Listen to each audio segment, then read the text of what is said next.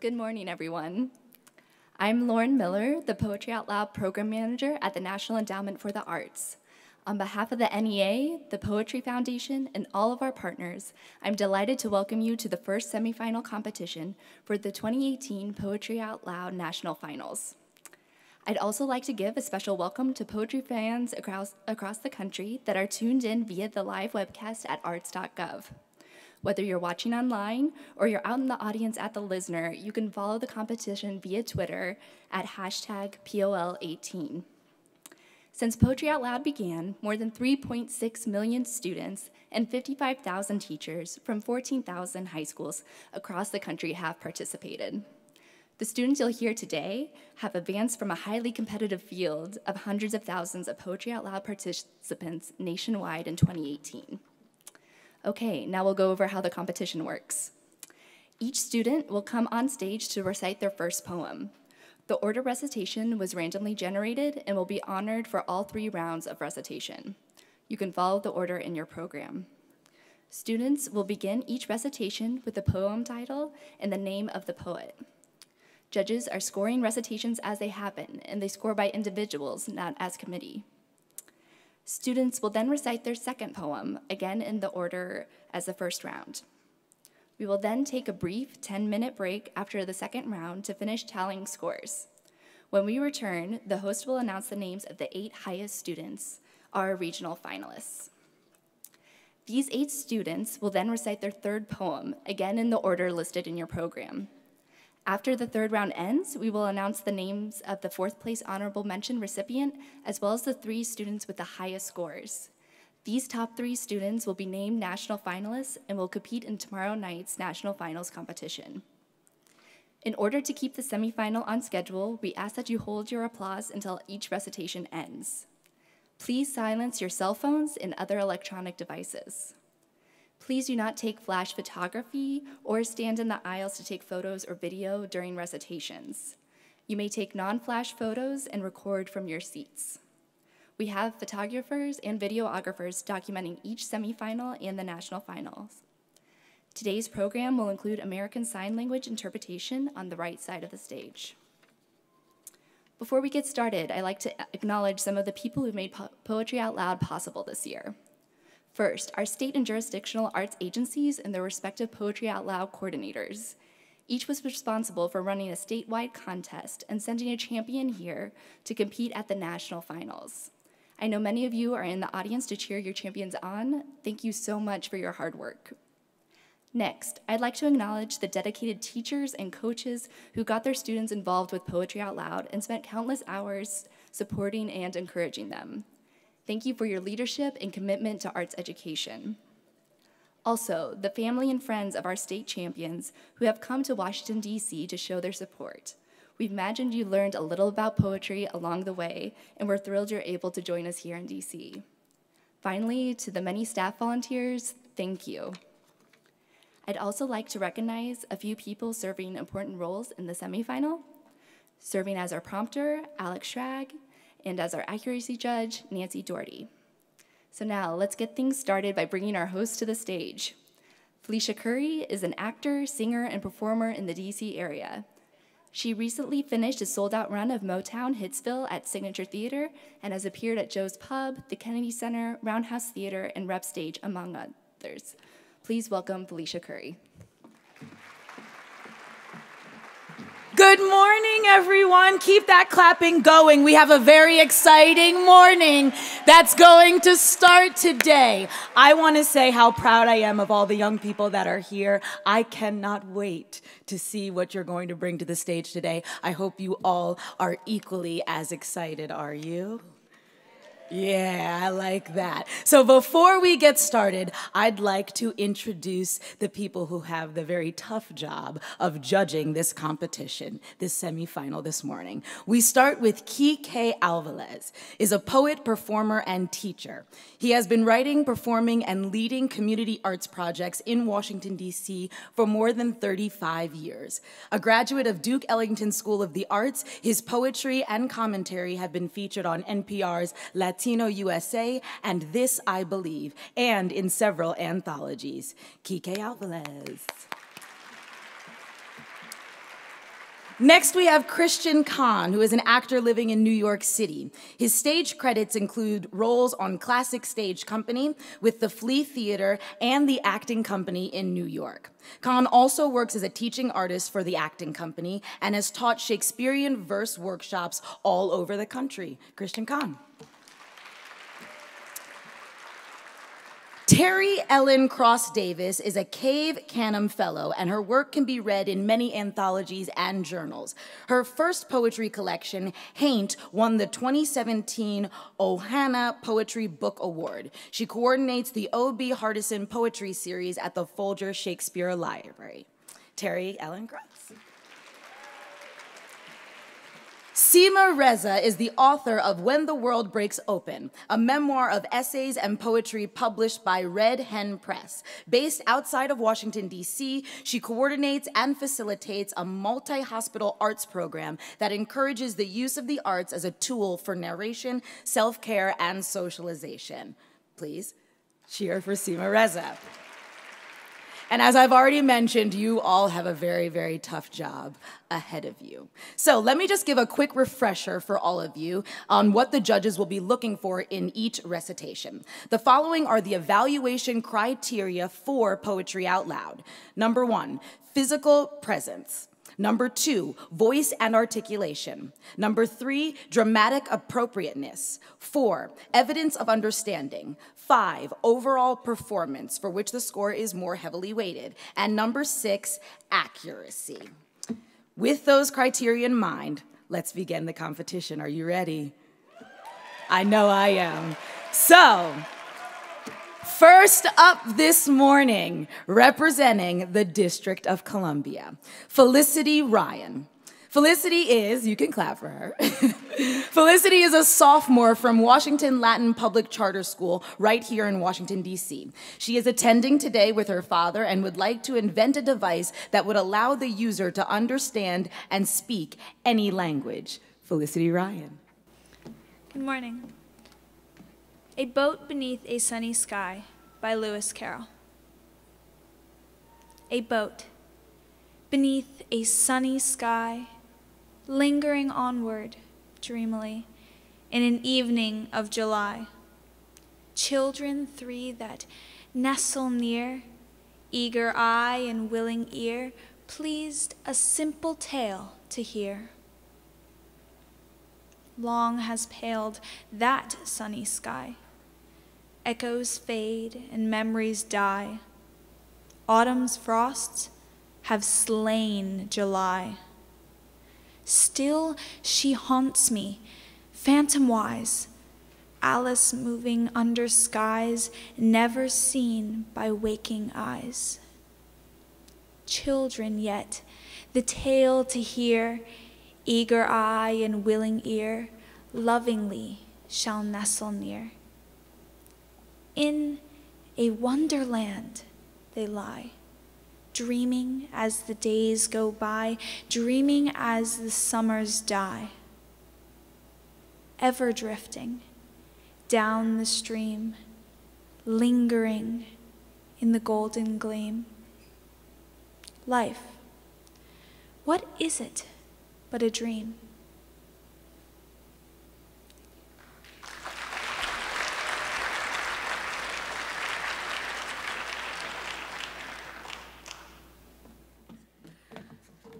Representing Connecticut, Jasmine Kabira. Jasmine is from Farmington, Connecticut, where she is a senior at Farmington High School. Jasmine has been participating in the Poetry Out Loud program for three years and looks for a poem that creates a spark of interest when choosing her recitation pieces. Also, Jasmine would very much like a cat. Jasmine Kabira. To Have Without Holding by Marge Piercy.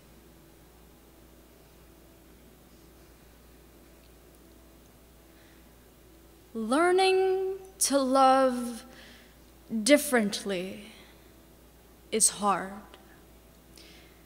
Love with the hands wide open. Love with the doors banging on their hinges. the cupboard unlocked, the wind roaring and whimpering in the rooms, rustling the sheets and snapping the blinds that thwack like rubber bands in an open palm.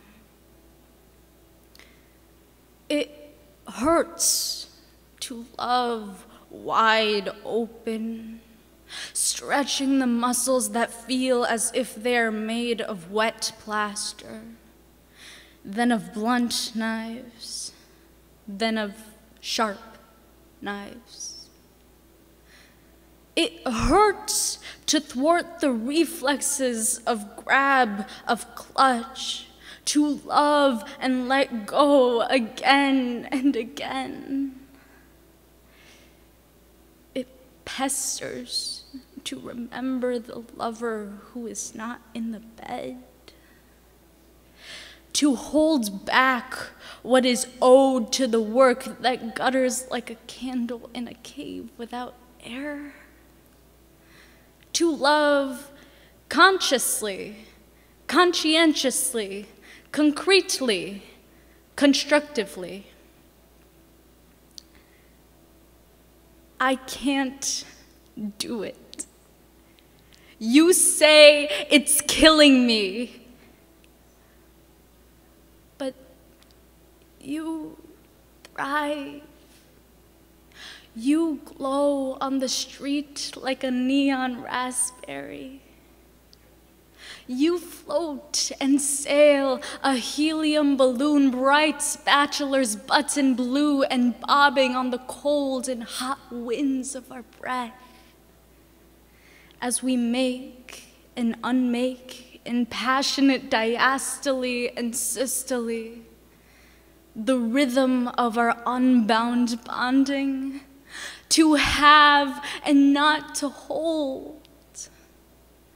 to love with minimized malice, hunger and anger, moment by moment, balanced.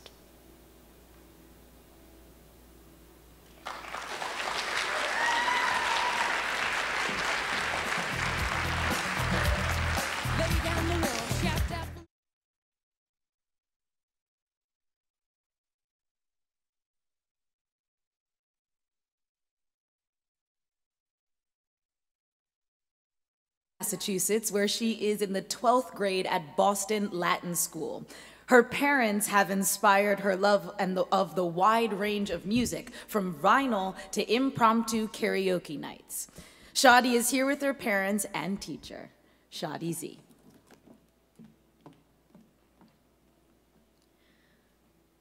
The World is Too Much with Us by William Wordsworth. The world is too much with us.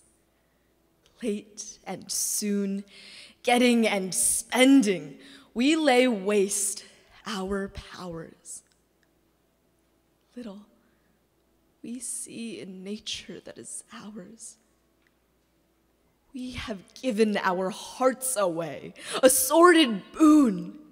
This sea that bears her bosom to the moon, the winds that will be howling at all hours, and are upgathered now, like sleeping flowers. For this, for everything, we are out of tune. It moves us not. Great God, I'd rather be a pagan, suckled in a creed outworn. So might I, standing on this pleasantly, have glimpses that would make me less forlorn. Have sight of Proteus rising from the sea, or hear old Triton blow his wreathed horn.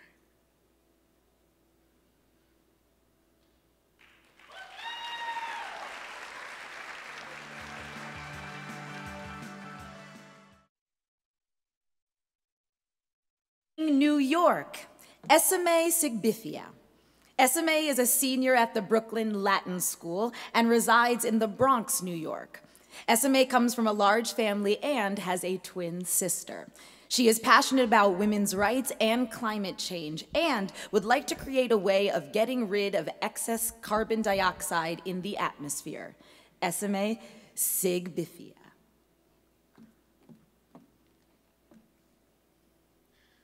Snake Oil, Snake Bite by Dilruba Ahmed. They staunched the wound with a stone. They drew blue venom from his blood until there was none. When his veins ran true, his face remained lifeless. And all the mothers of the village wept and pounded their chest until the sky had little choice but to grant their supplications. God made the boy breathe again. God breathes life into us, it is said. Only once. But this case was an exception. God drew back in a giant gust and blew life into the boy. And like a stranded fish, he shuddered, oceanless. It was true. The boy lived. He lived for a very long time. The toxins were an oil slick, contaminated, cleaned. But just as soon as the woman kissed redness back into his cheeks, the boy began to die again. He continued to die for the rest of his life. The dying took place slowly, sweetly. The dying took a very long time.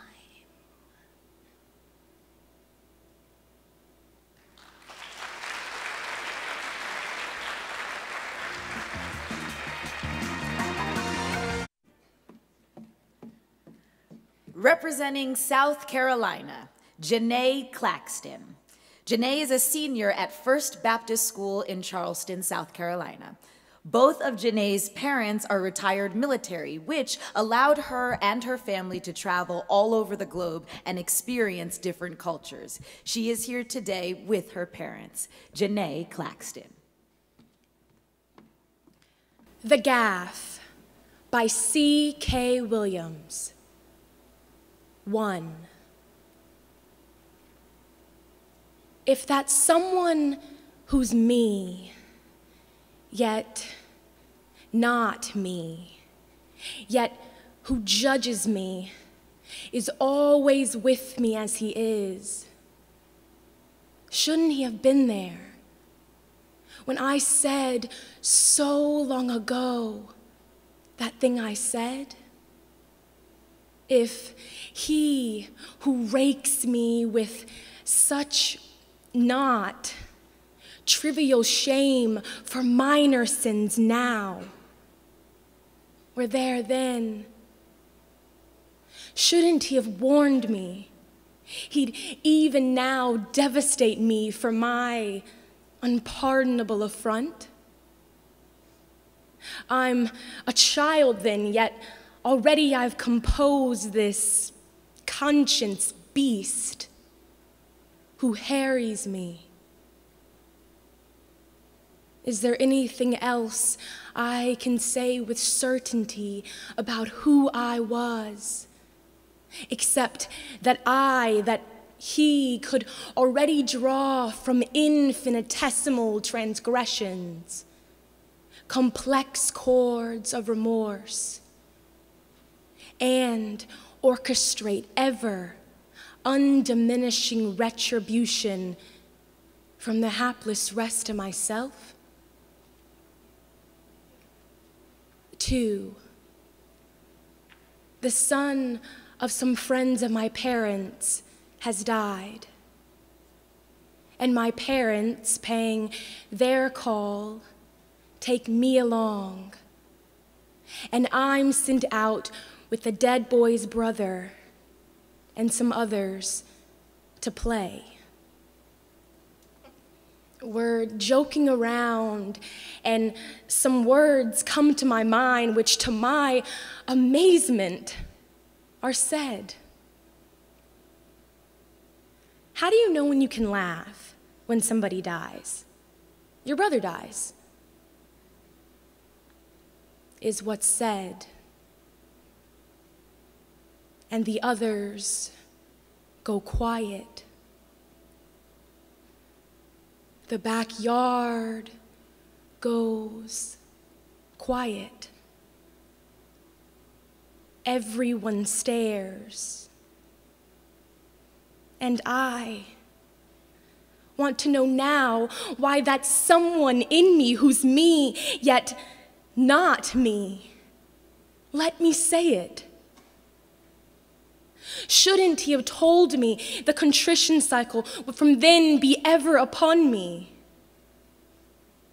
It didn't matter that I'd really only wanted to know how grief ends and when.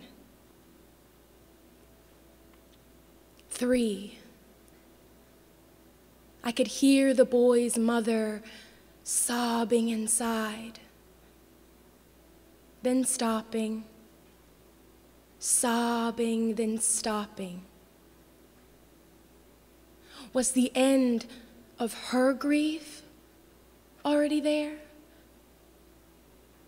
Had her, someone in her, told her it would end? Was her, someone in her, kinder to her, not tearing at her as mine did?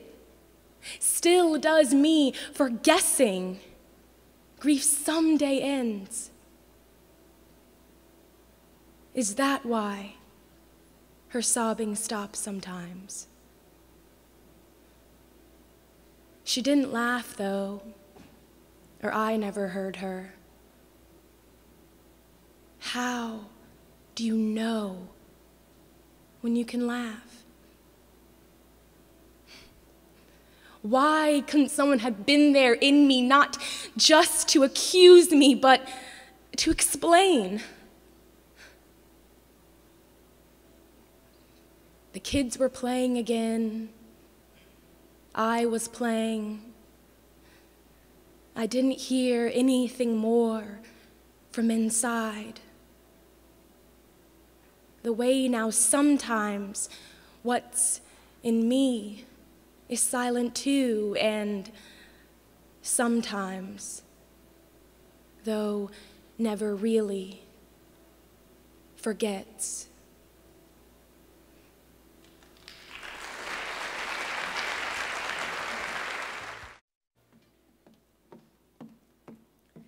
Representing Ohio, Caroline Delaney.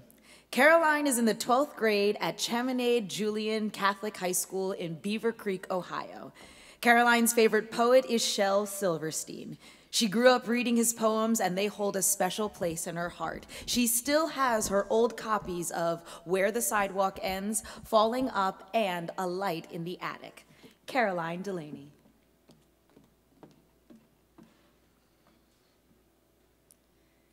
Plaint in a major key by Jorge Sanchez.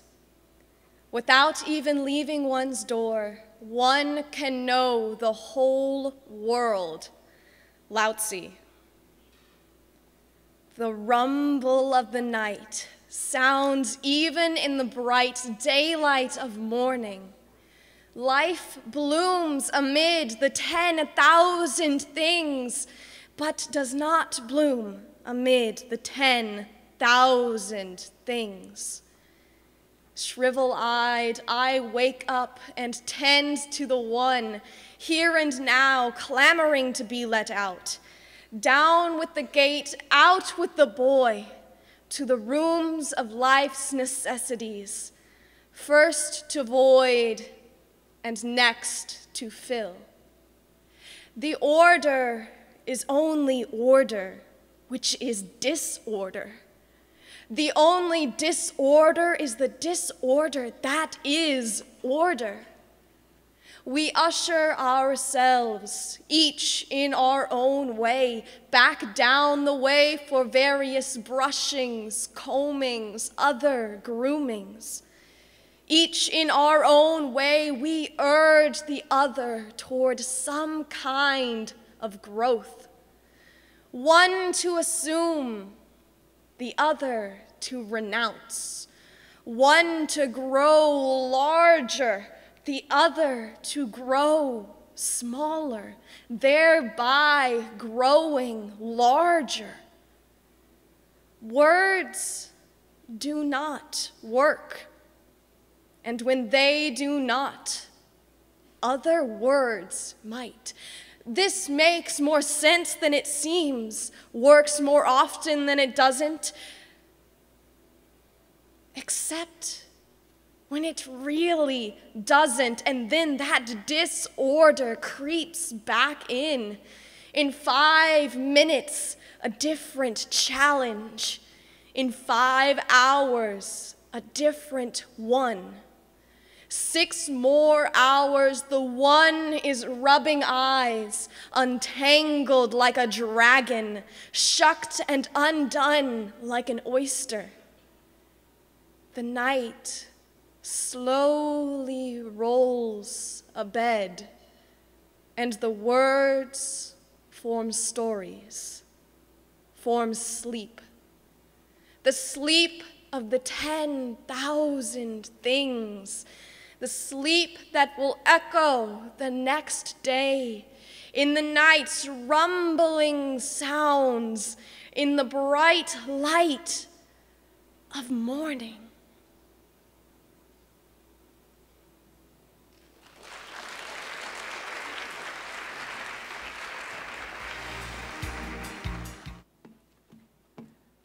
Representing the U.S. Virgin Islands, Mahlana Graham.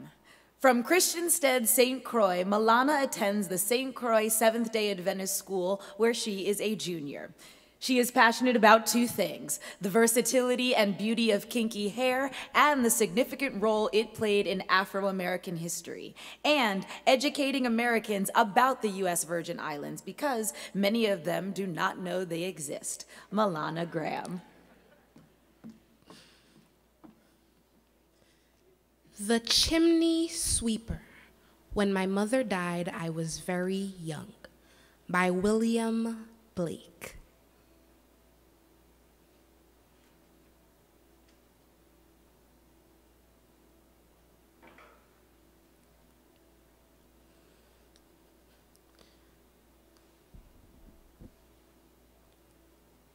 When my mother died, I was very young.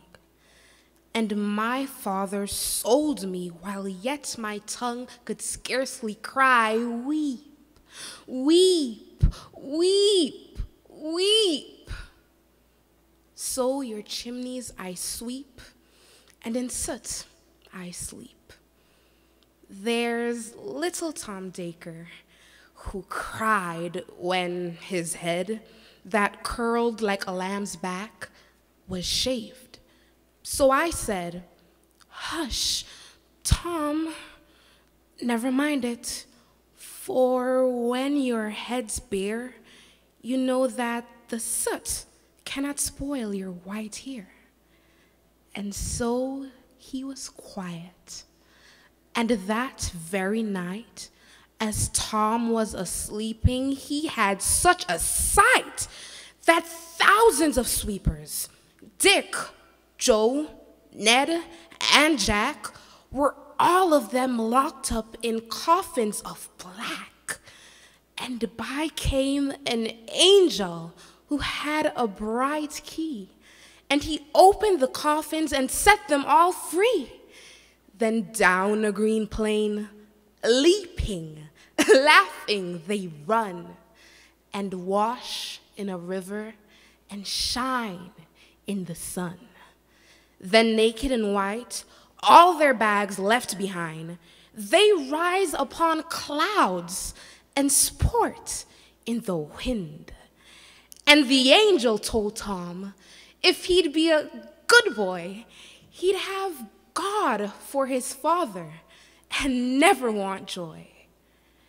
And so Tom awoke, and we rose in the dark and got with our bags and our brushes to work. Though the morning was cold, Tom was happy and warm. So if all do their duty, they need not fear harm.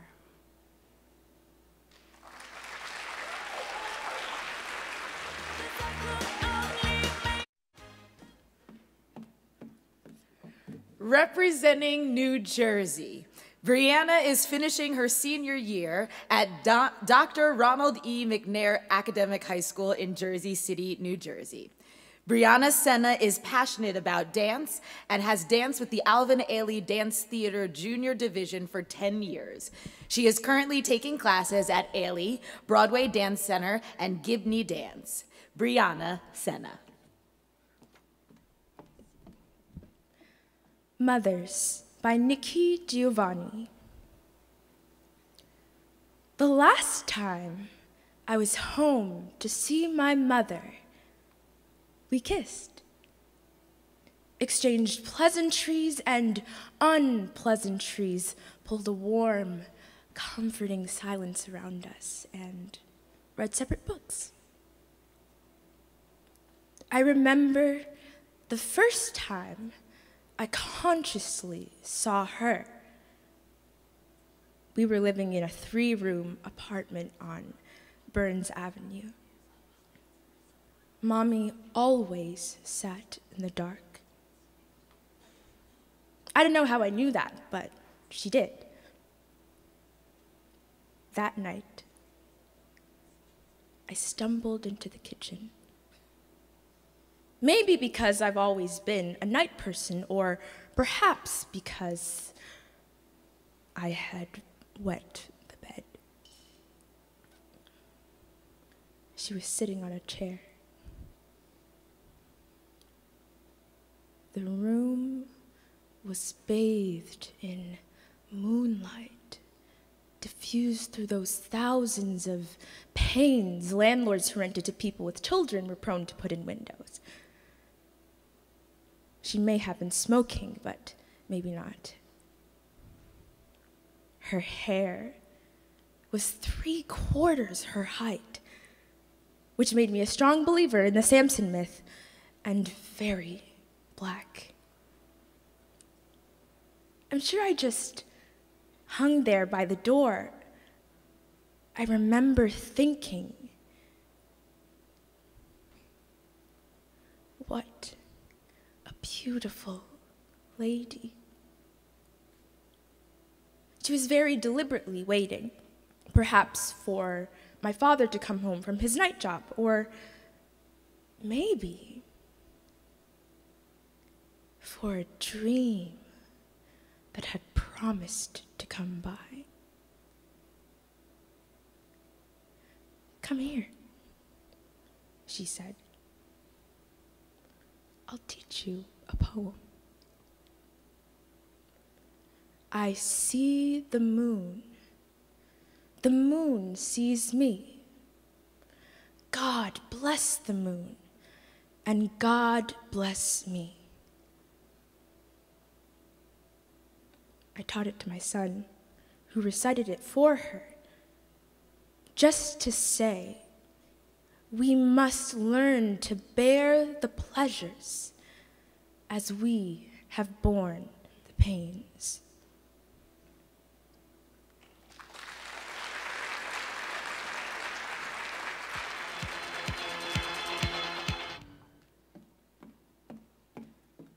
Representing Virginia, Remka Nwana. Hailing from Fairfax, Virginia, Remka is a junior at W.T. Woodson High School. If Remka could choose a superpower, she would choose invisibility. When invisible, she would be able to listen in on conversations or even use her phone in class without the teacher noticing. Remka Nwana. I Sit and Sew by Alice Moore Dunbar Nelson. I sit and sew. A useless task, it seems. My hands grown tired.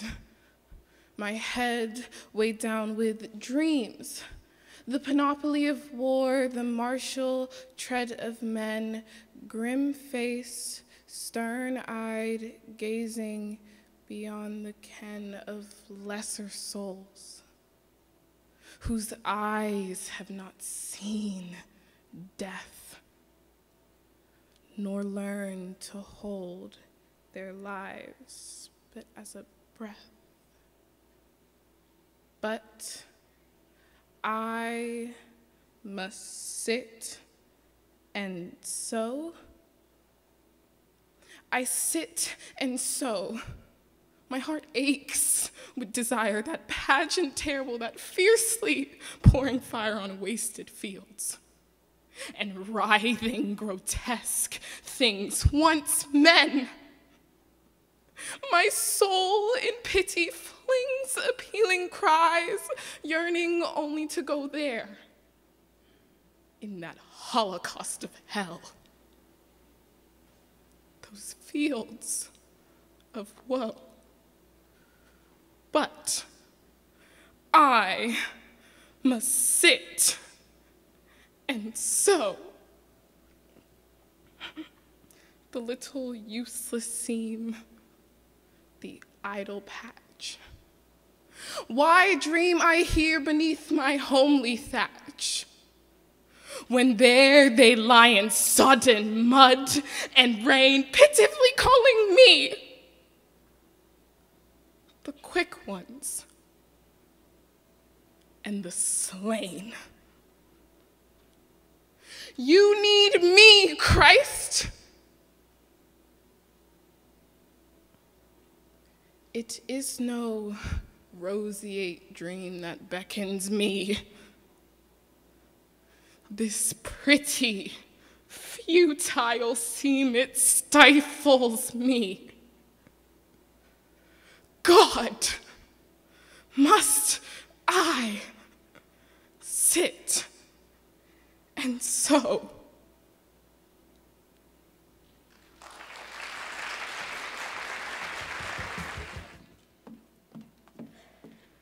Representing Delaware, Samuel McGarvey. Samuel is a sophomore at Tall Oaks Classical School in Wilmington, Delaware. Samuel loves the fantasy genre of literature, including the Harry Potter series, The Lord of the Rings, and The Chronicles of Narnia. He would like to invent a fully automated tackling dummy for solo football practice, thus sparing his little brothers much pain and angst. Samuel McGarvey. Beautiful Wreckage by W.D. Ehrhart. What if I didn't shoot the old lady running away from our patrol? Or the old man in the back of the head? Or the boy in the marketplace? Or what if the boy, but he didn't have a grenade? And the woman in Hue didn't lie in the rain in a mortar pit with seven Marines just for food. Gaffney didn't get hit in the knee. Ames didn't die in the river. Ski didn't die in a medevac chopper between Con Thien and Da Nang. In Vietnamese, Con Thien means place of angels. What if it really was? Instead of the place of rotting sandbags, incoming heavy artillery, rats, and mud. What if the angels were Ames and Ski, or the lady, the man, and the boy, and they lifted Gaffney out of the mud and healed his shattered knee? What if none of it happened the way I said? Would it all be a lie? Would the wreckage be suddenly beautiful? Would the dead rise up and walk?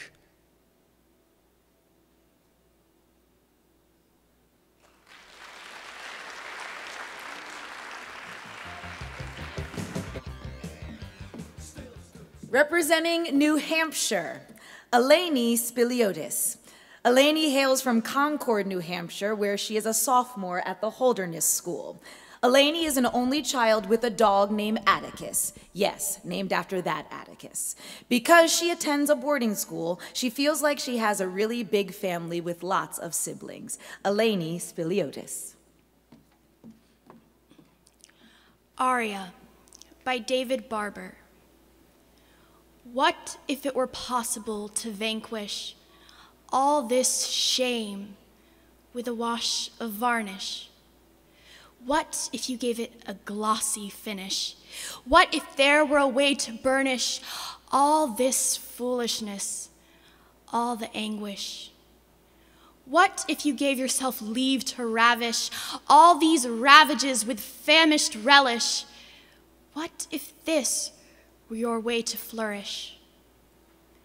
What if the self you love to punish, knavish, peevish, wolfish, sheepish, were all slicked up in something lavish? Why so squeamish? Why make a fetish out of everything you must relinquish? Why not embellish what you can't abolish? What would be left if you couldn't brandish all the slavishness you failed to banish? What would you be without this gibberish? What if the true worth of the varnish were to replenish your resolve to vanquish every vain wish before you vanish?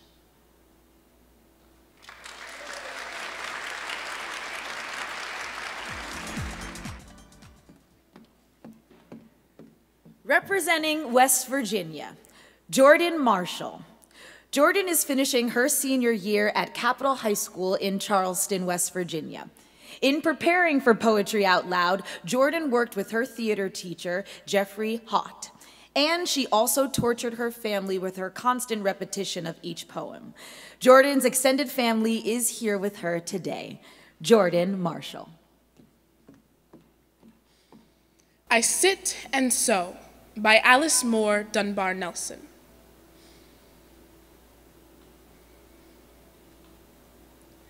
I sit and sew, a useless task it seems. My hands grown tired, my head weighed down with dreams. The panoply of war, the martial tread of men, grim faced, stern eyed, gazing beyond the ken of lesser souls whose eyes have not seen death, nor learned to hold their lives but as a breath, but I must sit and sew. I sit and sew. My heart aches with desire, that pageant terrible, that fiercely pouring fire on wasted fields and writhing grotesque things once men. My soul in pity flings appealing cries, yearning only to go there in that holocaust of hell. Those fields of woe, but I must sit and sew, The little useless seam, the idle patch. Why dream I here beneath my homely thatch when there they lie in sodden mud and rain, pitifully calling me the quick ones and the slain?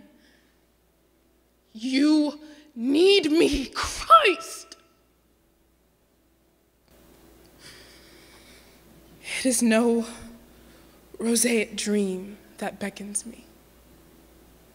This pretty, futile seam, it stifles me.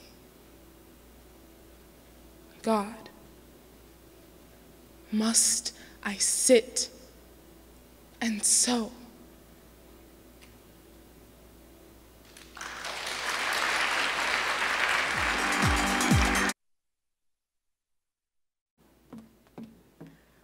Representing Rhode Island, Steven Rosario.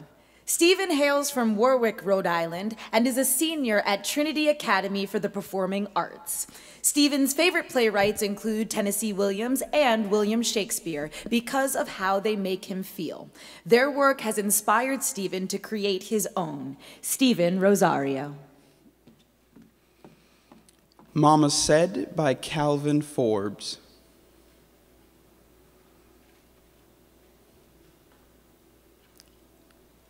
The slice I ate, I want it back.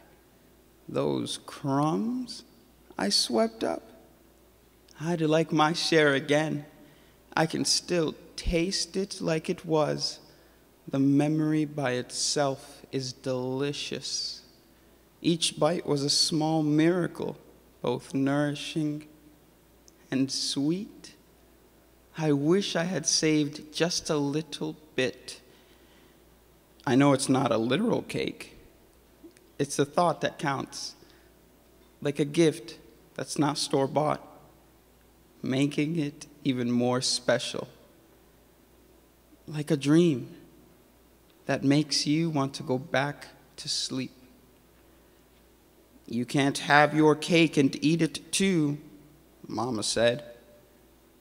I was defiant and hard headed and answered, Yes, I can too. The look she gave me said, Boy, I hope you're not a fool all your life.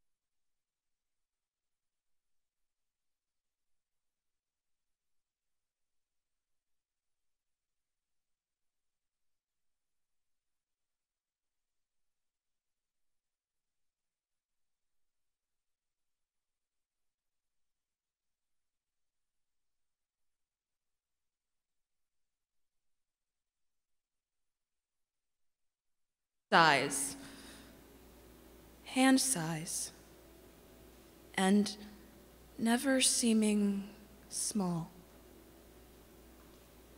I acknowledge there is no sweetness that doesn't leave a stain, no sweetness that's ever sufficiently sweet.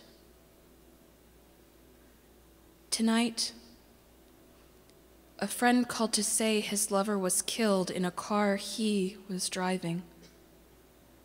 His voice was low and guttural.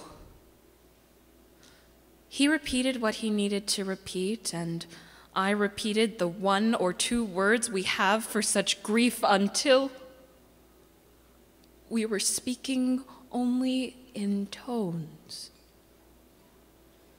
Often, a sweetness comes as if on loan, stays just long enough to make sense of what it means to be alive, then returns to its dark source. As for me, I don't care where it's been or what bitter road it's traveled to come so far. To taste so good.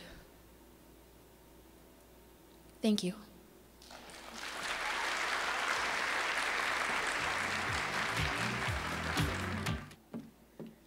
Representing Maryland, Cayla Turner. Cayla attends Indian Creek School in Upper Marlboro, Maryland, where she is finishing her senior year. Cayla is passionate about sign language and aspires to be an ASL interpreter in the future. Her favorite novelist is James Baldwin. She loves how unapologetic and honest he is in his works. Cayla Turner.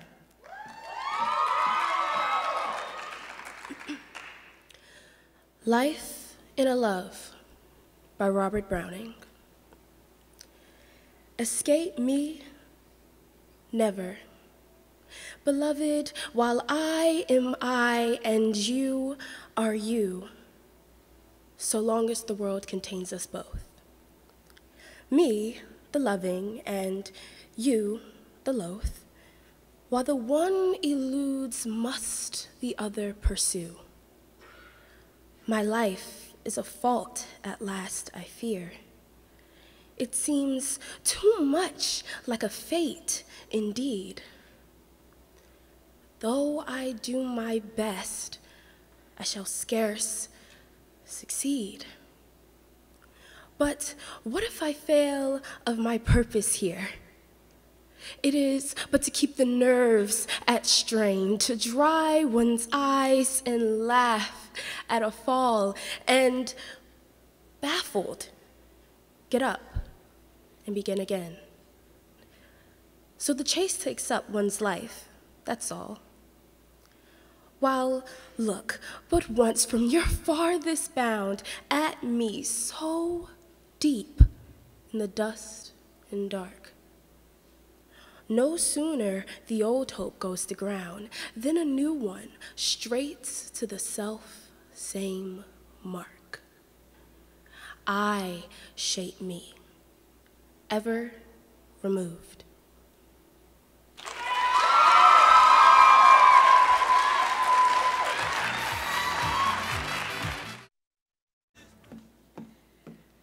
Representing Vermont, Vera Escaja Heiss. Vera is a junior at South Burlington High School in South Burlington, Vermont. Vera grew up in a trilingual household, speaking Spanish, German, and English. Living in the cold state of Vermont, Vera would like to invent a way to teleport to any warm place in the world when it's getting just a little too cold for her taste. Vera Escaja Heiss. Spanglish by Tato Laviera. Pues estoy creando Spanglish, bicultural systems, scientific, lexicographical, intertextual integrations. Two expressions existentially wired, two dominant languages continentally abrazándose en colloquial combate en las aceras del soil. Imperio Spanglish emerges. Control, pandillaje. Sobre territorio, bilingual. Las novelas mexicanas mixing with radio rock and roll, condimented cocinador, immigrant,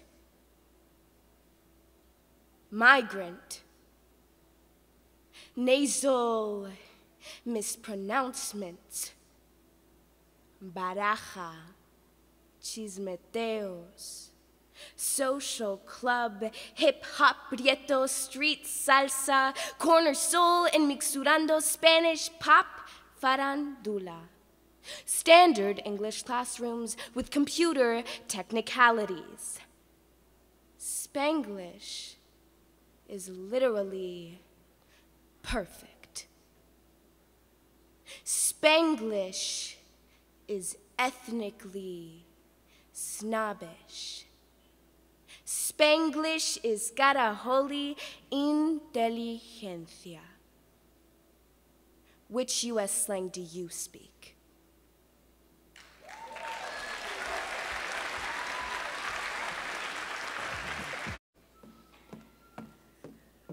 Representing Maine, Allan Monga.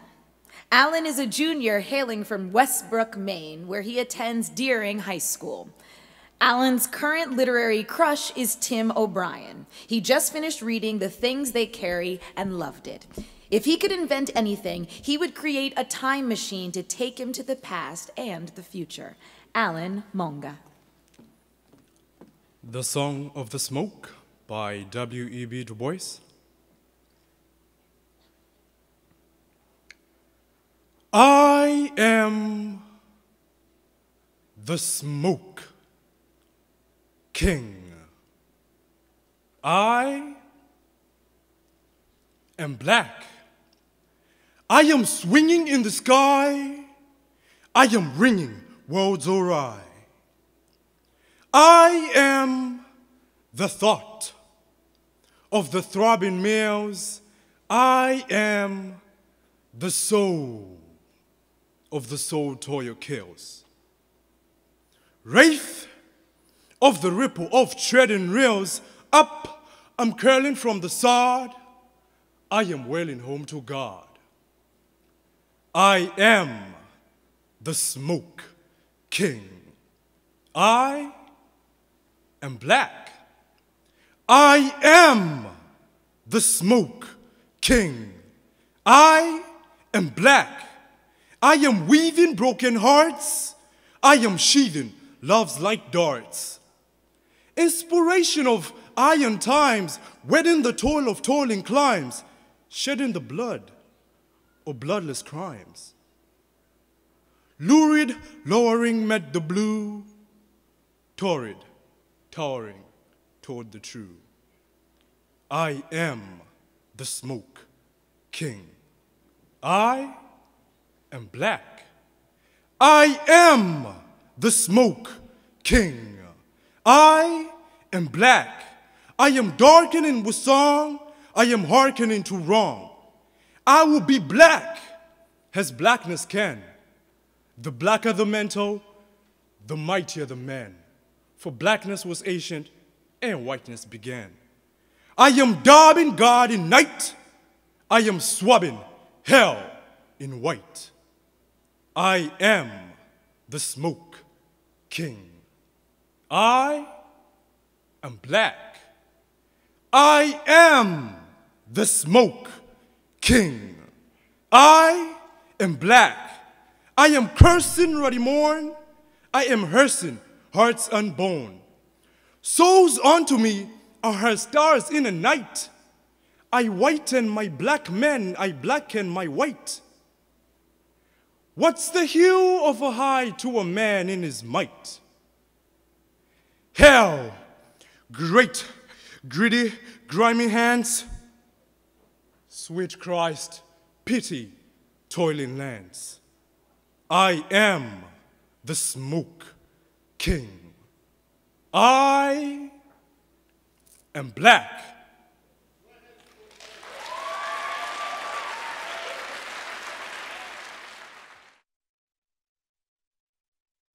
Pennsylvania, Brooke C. Hallinar. Brooke is finishing up her junior year at Cedar Crest High School in Lebanon, Pennsylvania. Brooke's favorite authors are Jodi Picoult, J.K. Rowling, and Edgar Allan Poe. While she does not have a favorite poet, she loves reading about the nature of humans and of life. Brooke C. Hallinar. Monet refuses the operation by Lisel Mueller.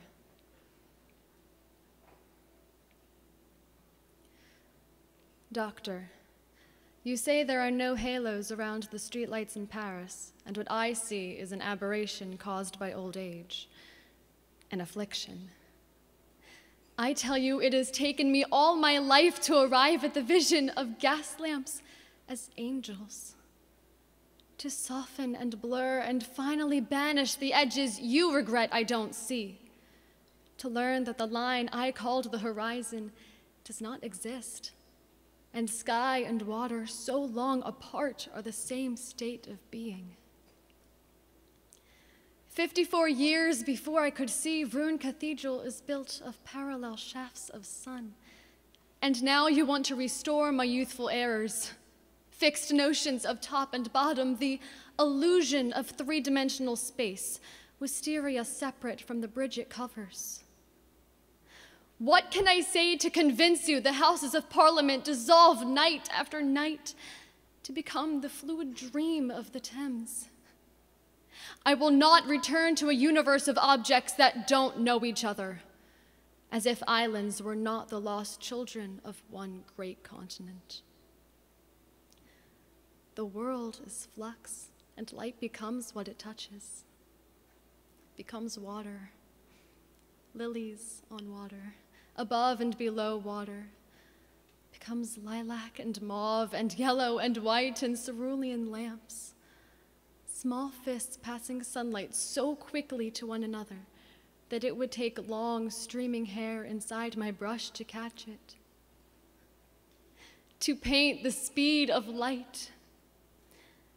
Our weighted shapes, these verticals burn to mix with air and change our bones, skin, clothes to gases Doctor, if only you could see how heaven pulls earth into its arms, and how infinitely the heart expands to claim this world. Blue vapor without end.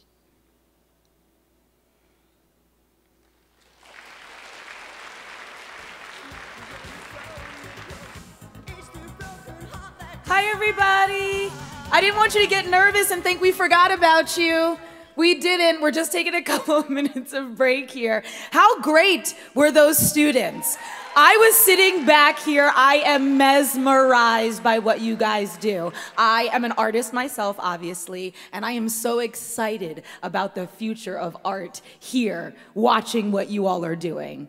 So thank you for that. Can you all thank them? And that was just round one.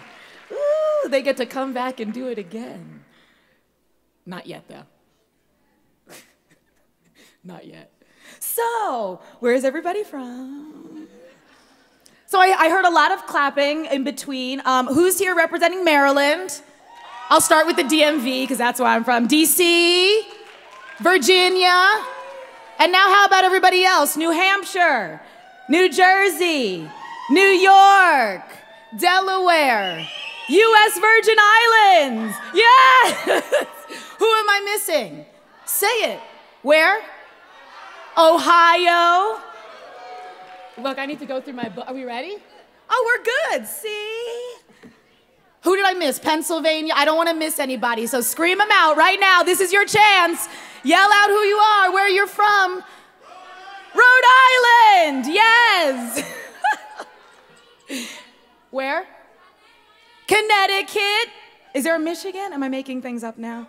South Carolina, North Carolina. All right, did I miss anybody? Because I want to make sure. Now you guys are making up words. What is it? Maine, Massachusetts, Pennsylvania. What is it? What'd you say? Now they're done. All right, we're gonna get to say them all again because we are now moving on to round two. Each student will have the opportunity to recite their second poem. First up, from the District of Columbia, Felicity Ryan.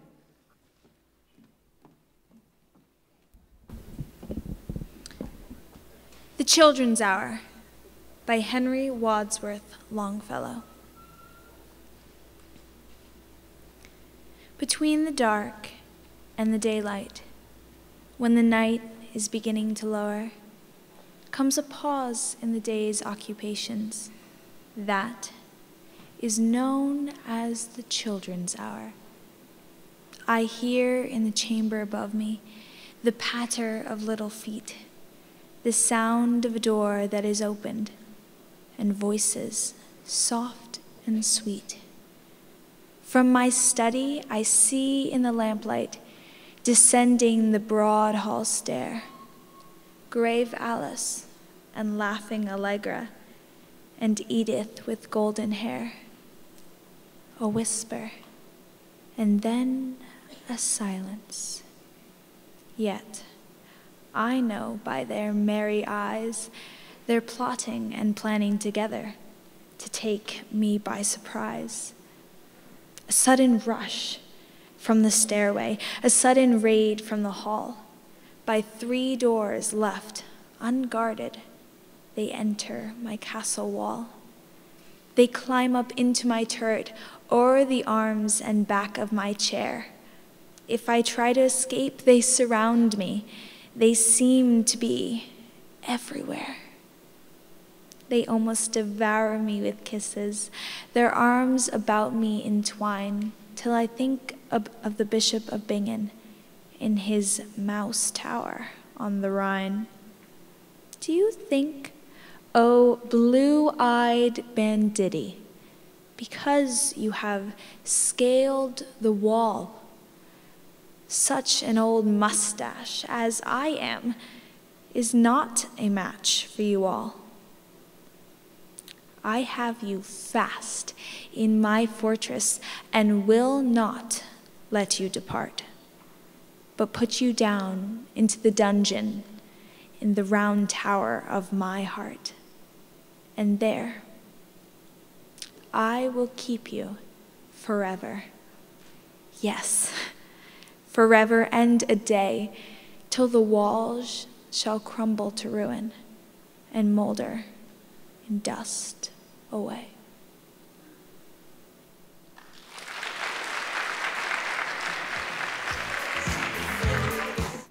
From Connecticut, Jasmine Kabira.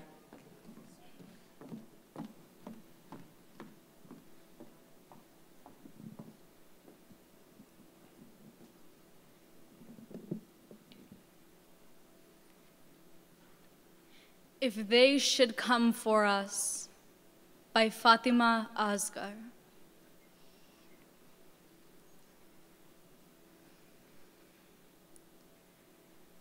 These are my people. And I find them on the street and shadow, through any wild, all wild. My people, my people, a dance of strangers in my blood. The old woman's sari dissolving to wind, bindi a new moon on her forehead. I claim her, my kin, and sew the star of her to my breast. The toddler dangling from stroller hair, a fountain of dandelion seed at the bakery. I claim them too. The Sikh uncle at the airport who apologizes for the pat down, the Muslim man who abandons his car at the traffic light, drops to his knees at the call of the azan, and the Muslim man who sips good whiskey at the start of Maghrib. The lone khala at the park pairing her kurta with Crocs. My people, my people, I can't be lost when I see you. My compass is brown and gold and blood. My compass, a Muslim teenager, snapback in high tops, gracing the subway platform. Mashallah, I claim them all. My country is made in my people's image. If they come for you, they come for me too. In the dead of winter, a flock of aunties step out on the sand, their dupattas turn to ocean. A colony of uncles grind their palms, and a thousand jasmines fill the air. My people, I follow you like constellations. We hear the glass smashing the street and the night opening their dark, our names, this country's wood for the fire. My people, my people.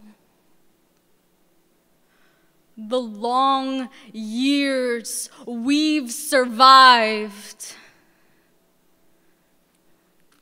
The long years yet to come.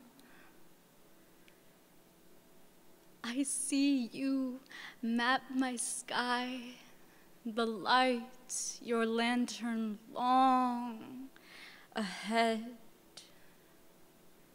and I follow. I follow.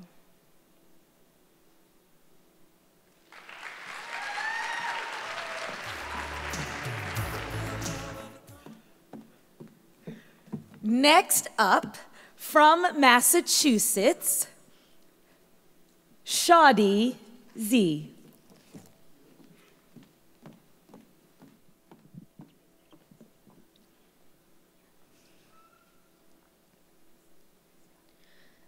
Degrees of Gray in Philipsburg by Richard Hugo. You might come here Sunday on a whim Say your life broke down. The last good kiss you had was years ago. You walk these streets laid out by the insane, past hotels that didn't last, bars that did, the tortured try of local drivers to accelerate their lives. Only churches I kept up. The jail turned 70 this year. The only prisoner is always in, not knowing what he's done. The principal supporting business now is rage, hatred of the various grays the mountain sends, hatred of the mill, the silver bill repeal, the best liked girls who leave each year for Butte. One good restaurant and bars can't wipe the boredom out. The 1907 boom, eight going silver mines, a dance floor built on springs. All memory resolves itself in gaze in panoramic green, you know the cattle eat. Or two stacks high above the town, two dead kilns, the huge mill in collapse for 50 years that won't fall finally down. Isn't this your life? That ancient kiss still burning out your eyes. Isn't this defeat so accurate? The church bell simply seems a pure announcement. Ring and no one comes. Don't empty houses ring. Are magnesium and scorn sufficient to support a town. Not just Philipsburg, but towns of towering blondes, good jazz, and booze the world will never let you have until the town you came from dies inside. Say no to yourself. The old man, 20 when the jail was built, still laughs although his lips collapse. Someday soon, he says, I'll go to sleep and not wake up. You tell him no. You're talking to yourself. The car that brought you here still runs. The money you buy lunch with, no matter where it's mined, is silver. And the girl who serves your food is slender, and her red hair lights the wall.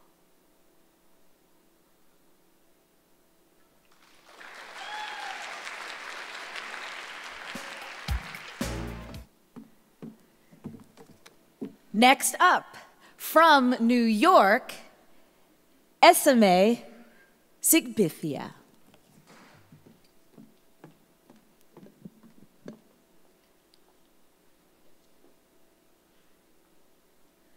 Abecedarian requiring further examination of Anglican Seraphim's subjugation of a wild Indian reservation by Natalie Diaz.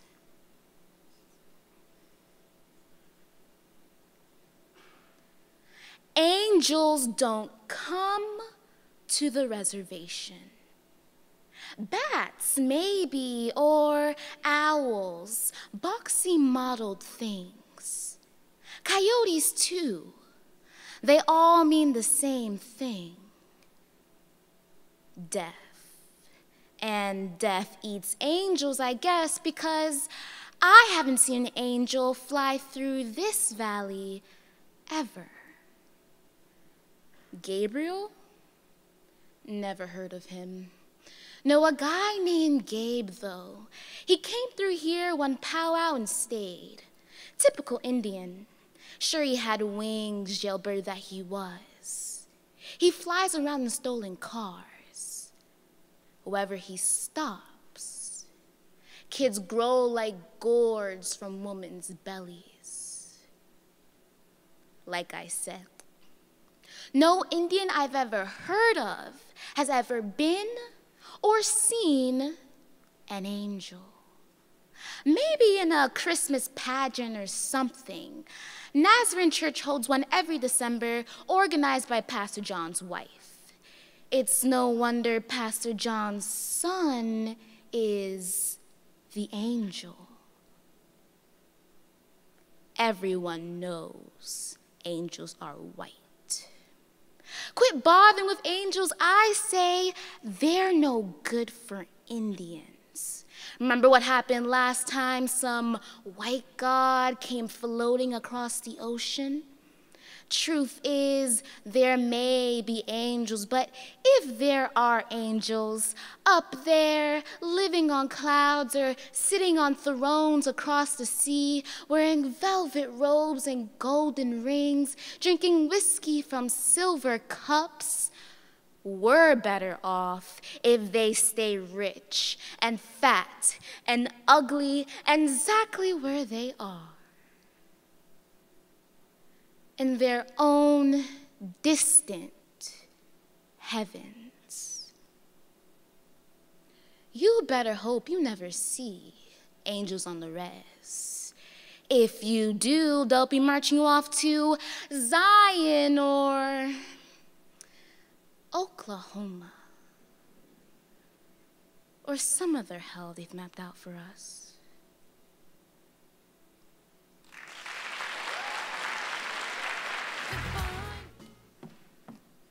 Next up, from South Carolina, Janae Claxton.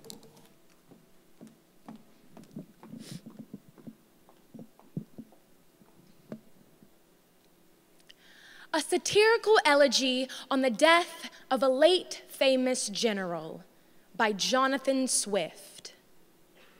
His grace, impossible.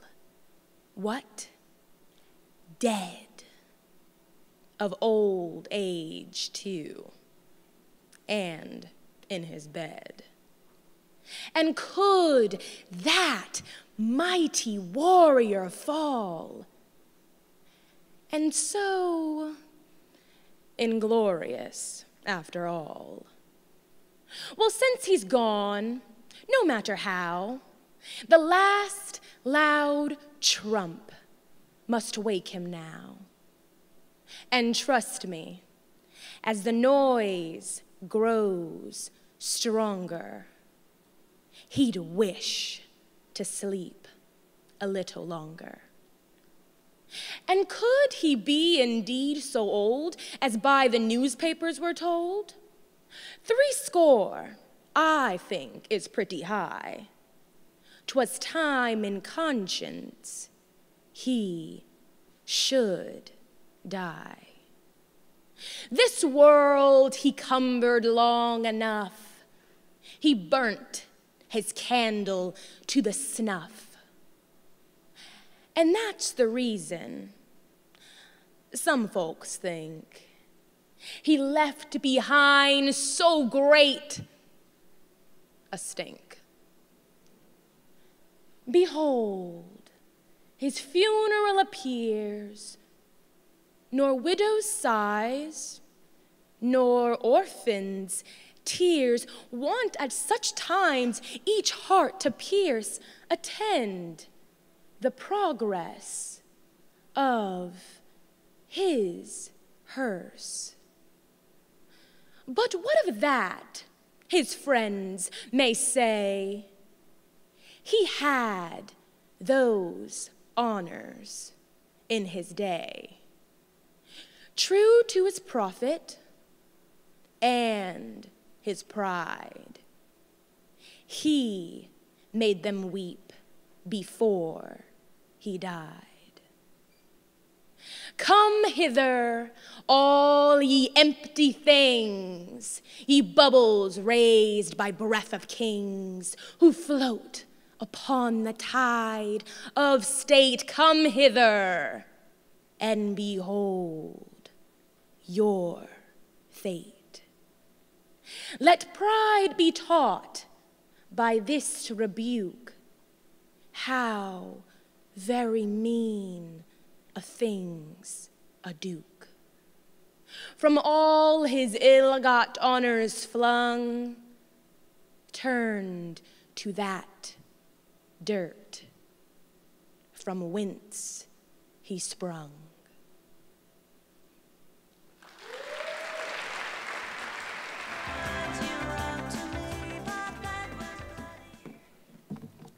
Next up, from Ohio, Caroline Delaney.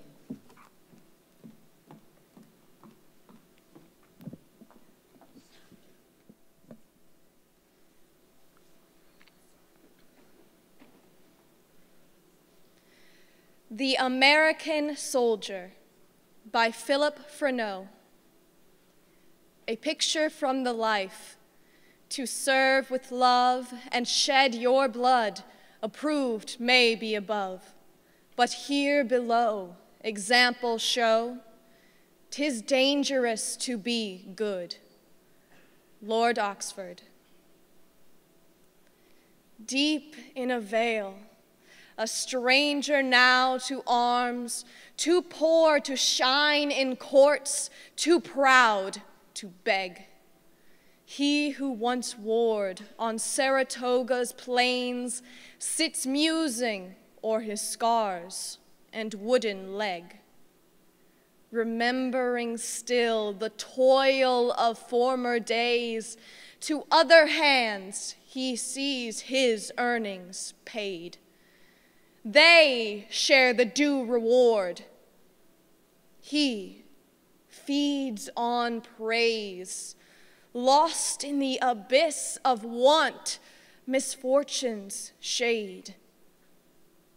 Far, far from domes where splendid tapers glare, tis his from dear bought peace, no wealth to win. Removed alike from courtly, cringing squires, the great man's levee and the proud man's grin. Sold are those arms which once on Britons blazed, when, flushed with conquest, to the charge they came.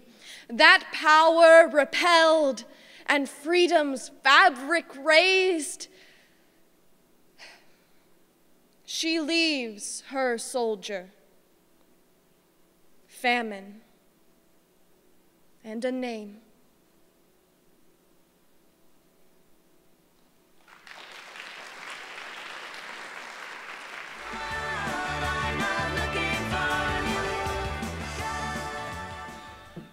Next up, from the U.S. Virgin Islands, Mahlana Graham.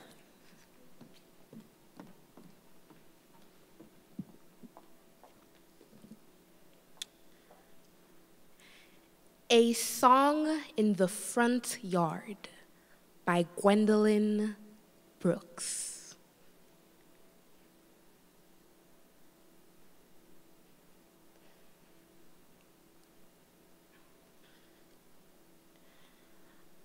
I've stayed in the front yard all my life.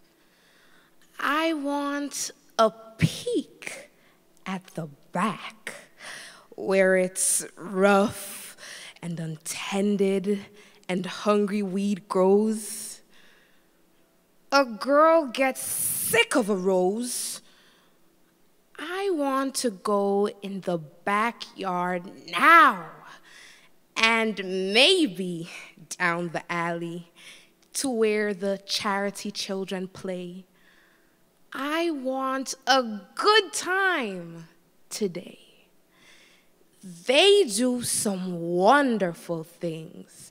They have some wonderful fun. My mother snares, but I say it's fine how they don't have to go in at quarter to nine. My mother, she tells me that Johnnie Mae will grow up to be a bad woman, that George will be taken to jail soon or late. On account of last winter, he sold our back gate. But I say it's fine. Honest, I do. And I'd like to be a bad woman too. And wear the brave stockings of night black lace and strut down the streets with paint on my face.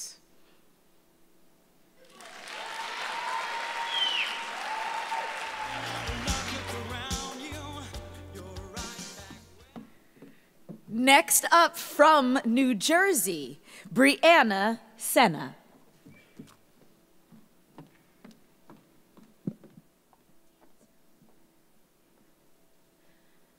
I Sit and Sew by Alice Moore Dunbar Nelson.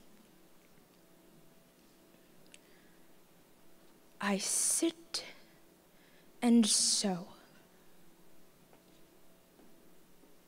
A useless task it seems. My hands grown tired. My head weighed down with dreams. The panoply of war, the martial tread of men, grim faced, stern eyed, gazing beyond the ken of lesser souls, whose eyes have not seen death, nor learned to hold their lives but as a breath. But I must sit and sew. I sit And sew, my heart aches with desire. That pageant terrible, that fiercely pouring fire on wasted fields, and writhing grotesque things once men. My soul in pity flings appealing cries, yearning only to go there, in that holocaust of hell, those fields of woe. But I must sit and sew.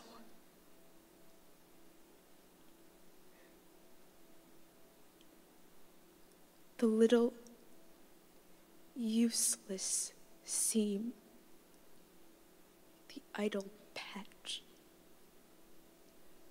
What dream I hear beneath my homely thatch, when there they lie in sodden mud and rain, pitifully calling me, the quick ones and the slain. You need me.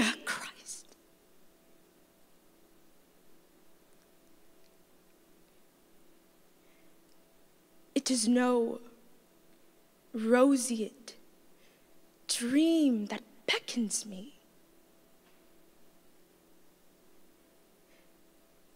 This pretty, futile seem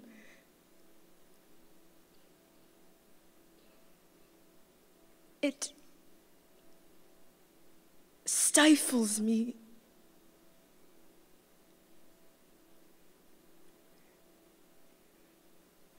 God, must I sit and sew?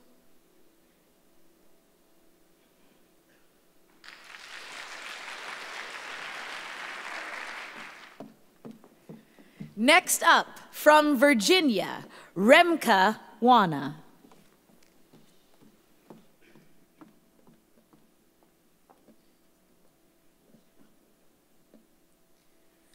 Negative by Kevin Young. Wake to find everything black, what was white, all the vice versa. White maids on TV, black sitcoms that star white dwarves, cute as pearl buttons, black presidents, black houses, white horse candidates. All bleach burns clothes black. Drive roads white as you are. White songs on the radio stolen by black bands like secret pancake recipes. White backup singers. Ball players and boxers all white as tar. Feathers on chickens dark as everything, boiling in the pot that called the kettle honky. Even whites of the eye turn dark, pupils clear and changing as a cat's. Is this what we've wanted and waited for?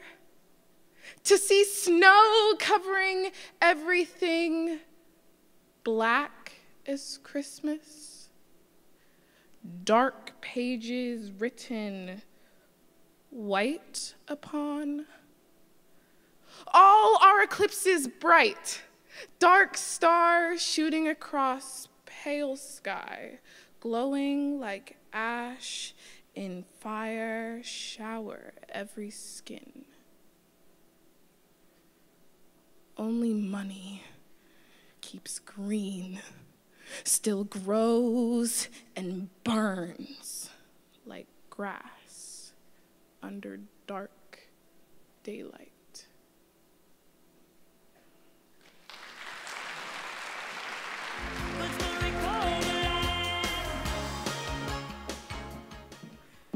Next up, from Delaware, Samuel McGarvey.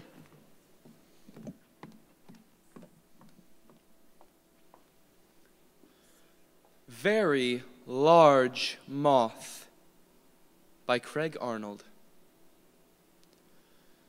After D H L. Your first thought? When the light snaps on and the black wings clatter about the kitchen, is a bat. The clear part of your mind considers rabies.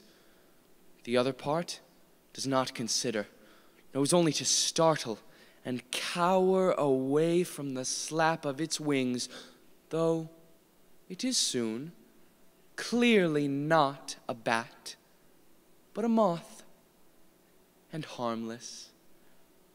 Still, you are shy of it.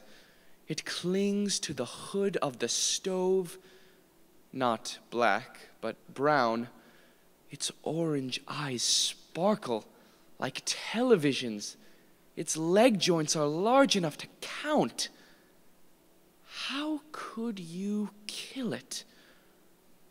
Where would you hide the body? A creature so solid must have room for a soul. And if this is so, why not in a creature half its size, or half its size again, and so on down to the ants? Clearly, it must be saved. Caught in a shopping bag and rushed to the front door, afraid to crush it, feeling the plastic rattle, loosened into the night air. It batters the porch light, throwing shadows around the landing. That was a really big moth, is all you can say to the doorman, who has watched your whole performance with a smile the half compassion and half horror we feel for the creatures we want not to hurt and prefer not to touch.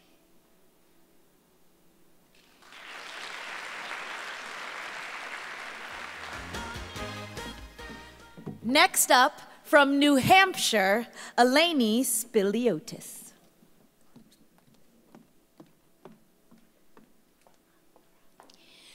I go back to May 1937 by Sharon Olds. I see them standing at the formal gates of their colleges. I see my father strolling out under the ochre sandstone arch, the red tiles glinting like bent plates of blood behind his head.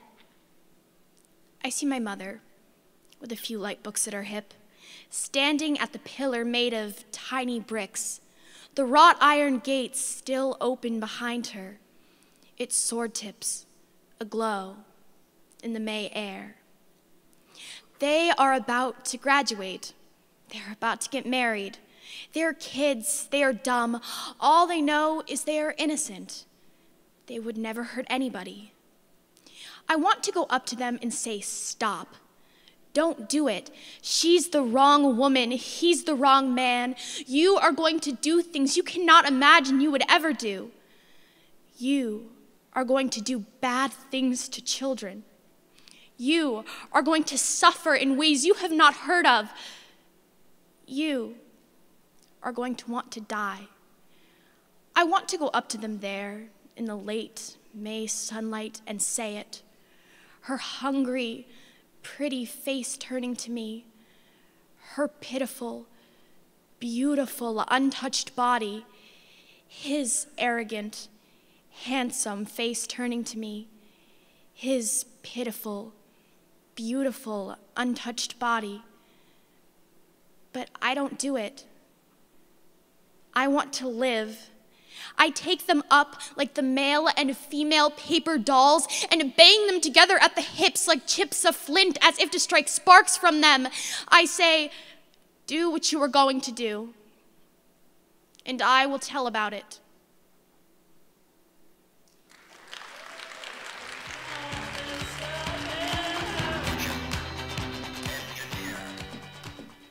Next up, from West Virginia, Jordyn Marshall.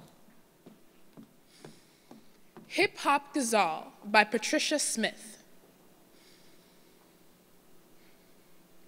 Got to love us brown girls, munching on fat, swinging blue hips, decked out in shells and splashes, Lord, D bringing them woo hips. As the jukebox teasers watch my sisters throat the heartbreak, inhaling bass line, cracking backbone, and singing through hips. Like something boneless, we glide silent, seep between floorboards, wrapping around the hems, and ooh, we clinging like glue hips. Engines grinding, rotating, smoking, gotta pull back some. Natural minds are lost at the mere sight of ringing true hips. Got to love us girls, just strutting down Manhattan streets, killing the menfolk with a dose of that stinging view. Hips.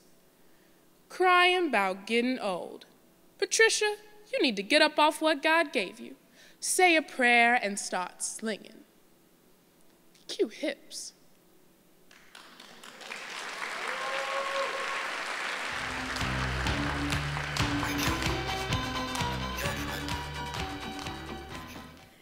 Next up, from Rhode Island, Steven Rosario.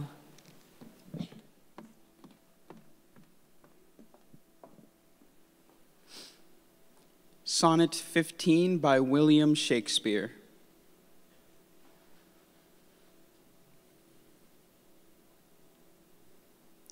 When I consider everything that grows, holds in perfection but a little moment, that this huge stage presenteth naught but shows whereon the stars and secret influence comment. When I perceive that men as plants increase, cheered, and checked, even by the selfsame sky, vaunt in their youthful sap, at height decrease, and wear their brave state out of memory then the conceit of this inconstant stay sets you, most rich in youth, before my sight, where wasteful time debateth with decay, to change your day of youth to sullied night, and all in war with time, for love of you, as he takes from you I engraft you new.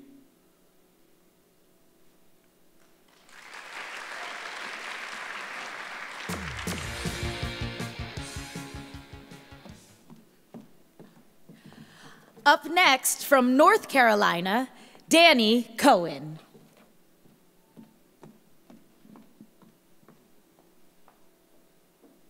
April Midnight by Arthur Symons. Side by side through the streets at midnight, roaming together. Through the tumultuous night of London in the miraculous April weather. Roaming together under the gaslight, day's work over. How the spring calls to us here in the city, calls to the heart from the heart of a lover. Cool to the wind blows fresh in our faces, cleansing, entrancing. After the heat and the fumes and the footlights, where you dance. And I watch your dancing. Good it is to be here together good to be roaming, even in London, even at midnight, lover like in a lover's gloaming. You, the dancer, and I, the dreamer, children together, wandering lost in the night of London, in the miraculous April weather. Thank you.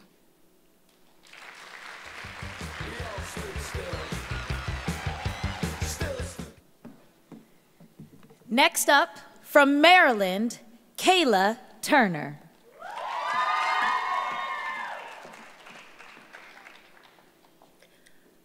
The Song of the Feet by Nikki Giovanni.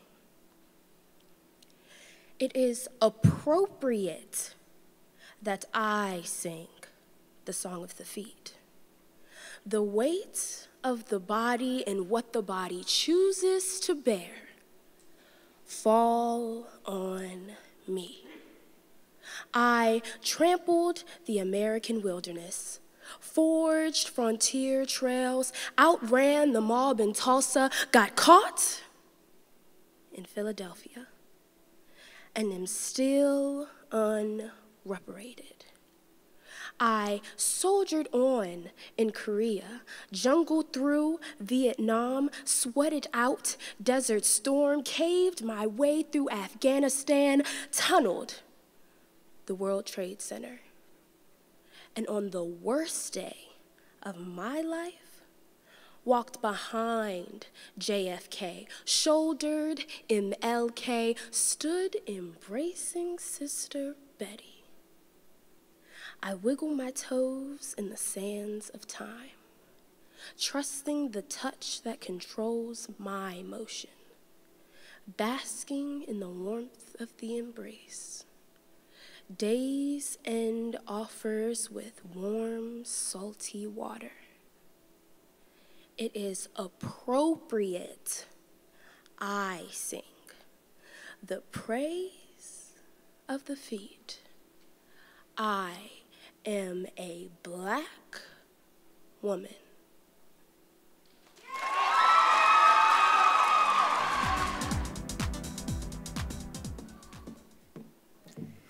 Next up, from Vermont, Vera Escaja Heiss.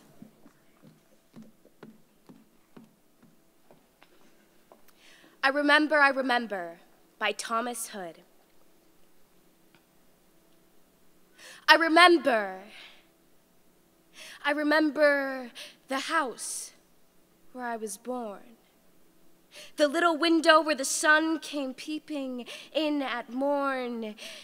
He never came a wink too soon, nor brought too long a day.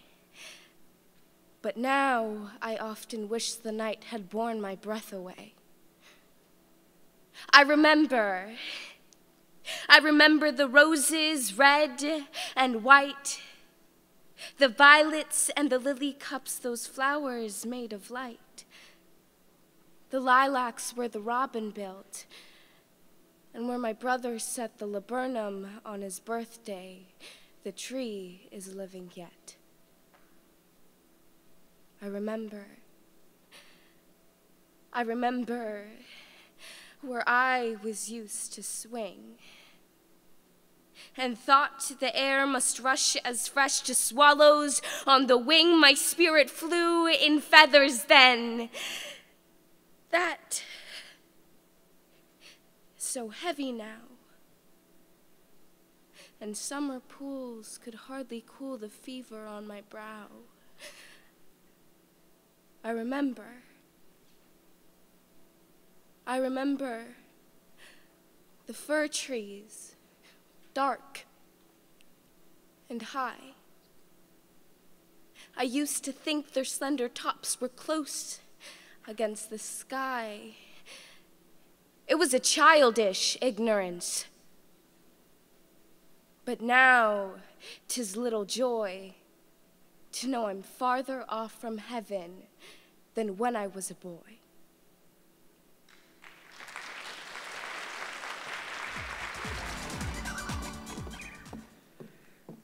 Next up, from Maine, Allan Monga.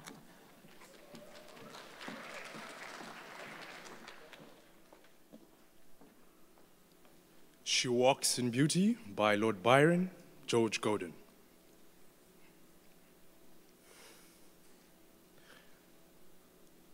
She walks in beauty like the night of cloudless climes and starry skies. and all that's best of dark and bright meet in a aspect under eyes. Thus mellowed to that tender light which heaven to gaudy day denies. One shade the more, one ray the less, had half impaired the nameless grace which waves in every raven tress, or oh, softly lightens o'er her face, where thoughts serenely sweet express how pure, how dear the dwelling place. And on that cheek, and all that brow, so soft, so calm, yet eloquent. The smiles that win, the tints that glow, but tell of days in goodness spent. A mind at peace with all below, a heart whose love is innocent.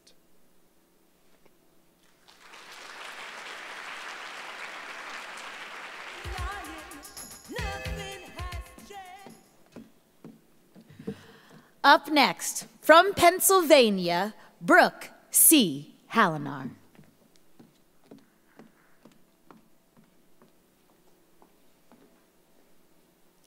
Flowers by Cynthia Zarin.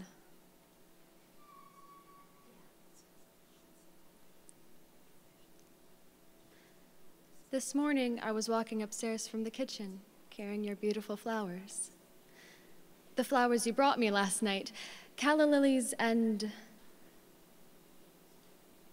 something else. I am not sure what to call them. White flowers. Of course, you had no way of knowing it has been years since I bought white flowers. But now you have, and here they are again. I was carrying your flowers and a coffee cup and a soft yellow handbag and a book of poems by a Chinese poet in which I had just read the words, Come or go, but don't just stand there in the doorway.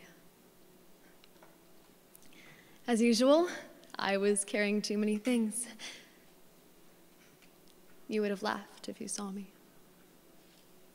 It seemed especially important not to spill the coffee as I usually do, as I turned up the stairs inside the whirl of the house, as if I were walking up inside the lilies. I do not know how to hold all the beauty and sorrow of my life.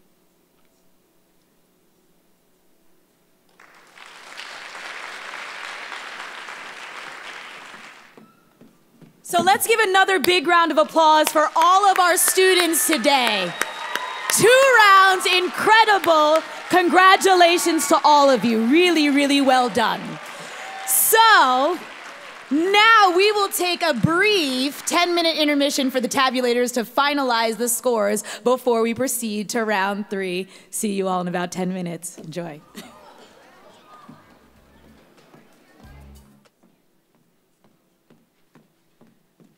Welcome back, everybody. Are you excited to be back? We're not done yet. It is awards presentation time. So, would all of the competitors please return to the stage? This is your opportunity, everybody, to give big rounds of applause for all of the wonderful work that they have done this morning. Our 18 state champions. Congratulations. Yes, keep it up. They deserve that and more. Out of a nationwide competitive field, these students, you, ladies and gentlemen, rose to the top. And all of you can see and hear why. Congratulations. We'd like to now award a plaque to each one of our competitors for their achievement in representing their state in the national finals. Presenting the awards this morning are Steve Young from the Poetry Foundation and Lauren Miller from the National Endowment for the Arts.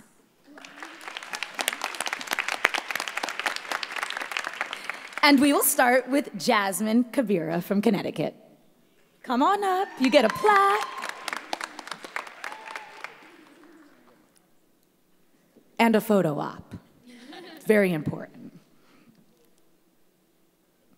So, this is where you can be loud for your state. This is the time to do that. Next up, we have Samuel McGarvey from Delaware.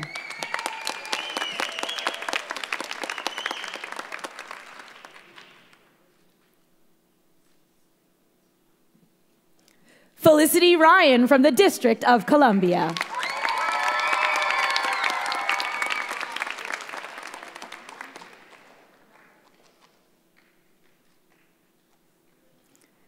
Allan Monga from Maine.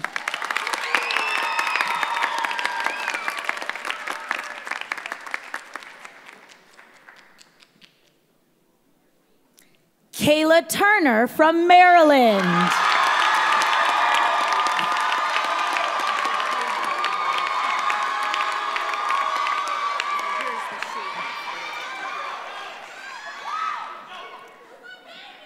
Xiadi Zhai from Massachusetts.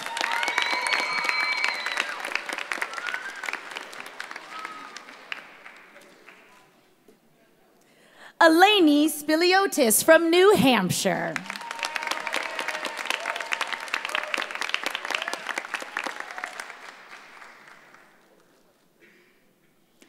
Breana Sena from New Jersey.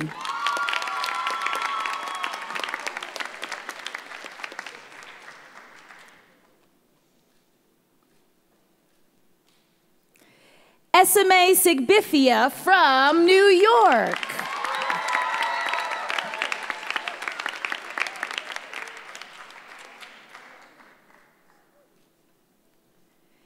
Danny Coan from North Carolina.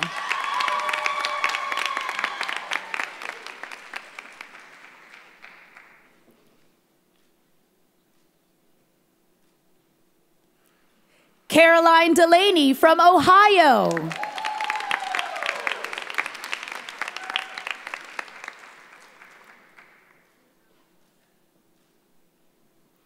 Brooke C. Hallinar from Pennsylvania.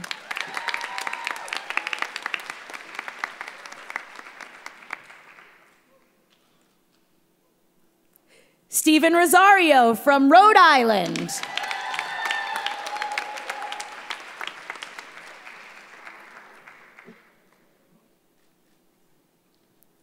Janae Claxton from South Carolina.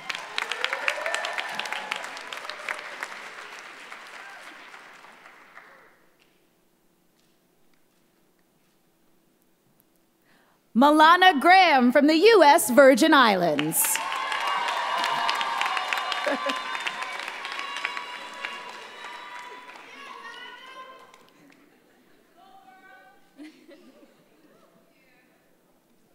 Vera Escaja Heiss from Vermont.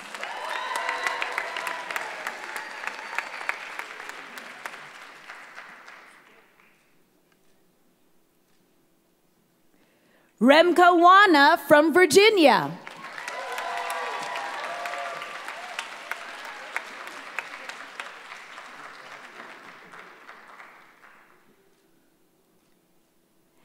And Jordyn Marshall from West Virginia.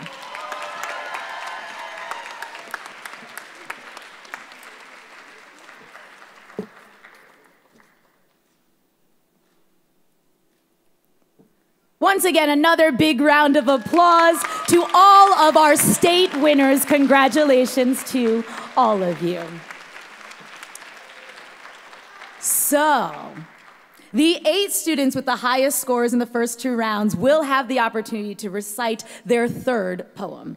This score will be added to their scores from the first two rounds to determine the three students who will advance to the national finals tomorrow night.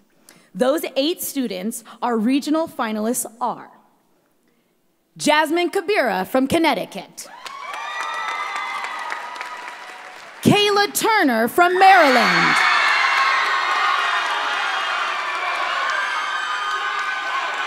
All right, Maryland, we hear you, but we got to get to everybody else. Xiadi Zhai from Massachusetts. Eseme Segbefia from New York. Brooke C. Hallinar from Pennsylvania. Janae Claxton from South Carolina.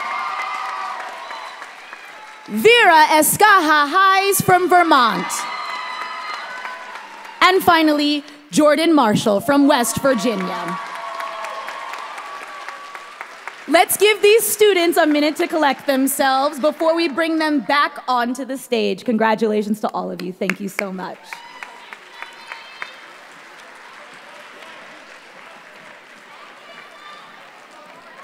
So now you can be loud for everybody. Congratulate the eight regional finalists. It's getting exciting in here. So how long did it take? Keep them a second. Okay. Was that exciting? It was, right? I was just telling the students how thoroughly impressed I was with them. How about all of you? I mean, what they did up here. How many of you could actually remember those poems, let alone recite them in front of people? Exactly. We're good. Okay, are we ready for round three? Are you ready for round three? So we are going to start third round of competition, third poem from our eight finalists.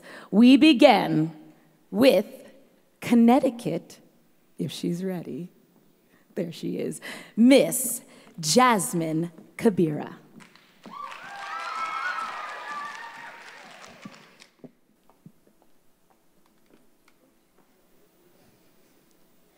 Bereavement by William Lisle Bowles.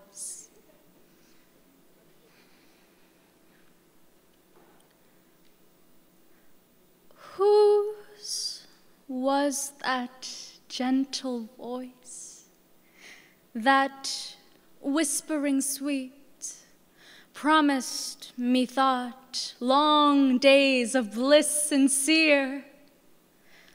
Soothing it stole on my deluded ear, most like soft music that might sometimes cheat thoughts dark and drooping. 'Twas the voice of hope, of love and social scenes it seemed to speak, of truth of friendship, of affection meek, that, oh, poor friend, might to life's downward slope lead us in peace and bless our latest hours. Ah, me. The prospect saddened as she sung Loud on my startled ear the death bell rung. Chill darkness wrapped the pleasurable bowers, whilst horror, pointing to yon breathless clay, No peace be thine, exclaimed, Away, away!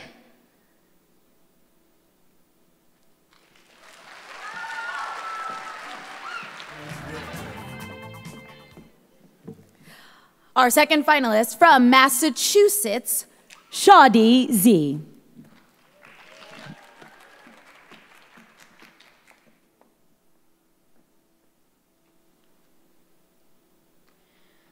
The Golden Shovel by Terence Hayes after Gwendolyn Brooks.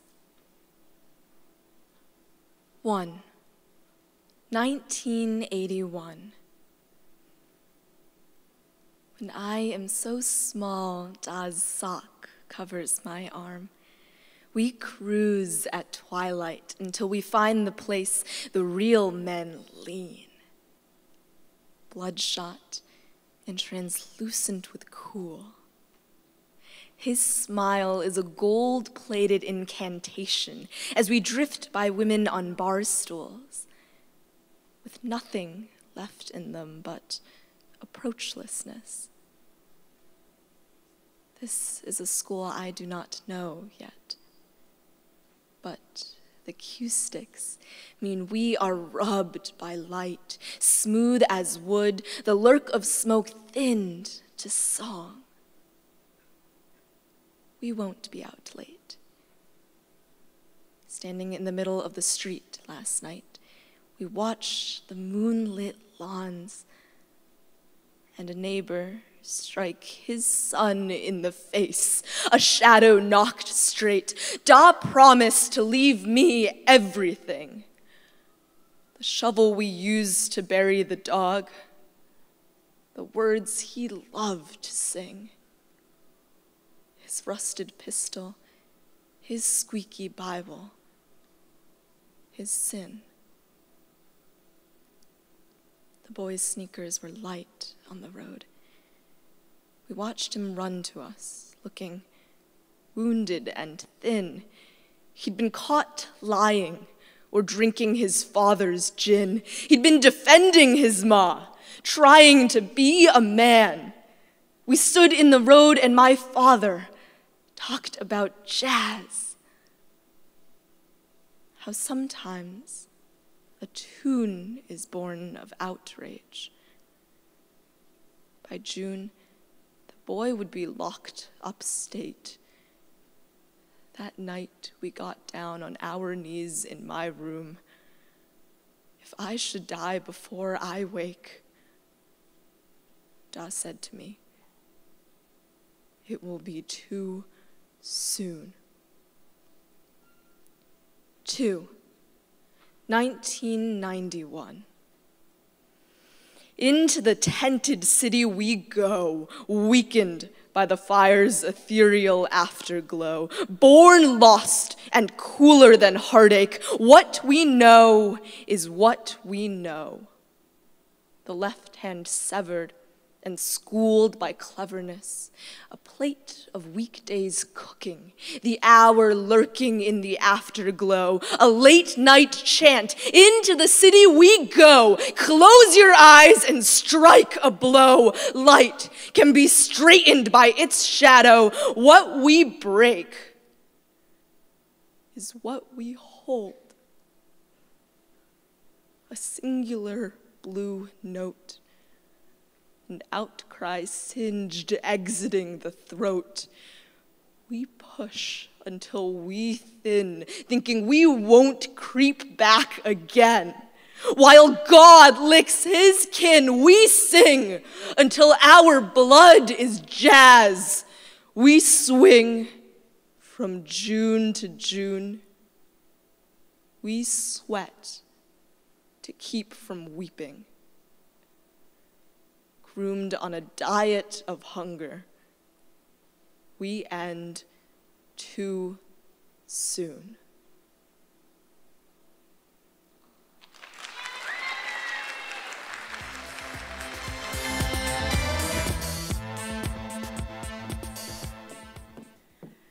Your third regional finalist from New York, Eseme Segbefia.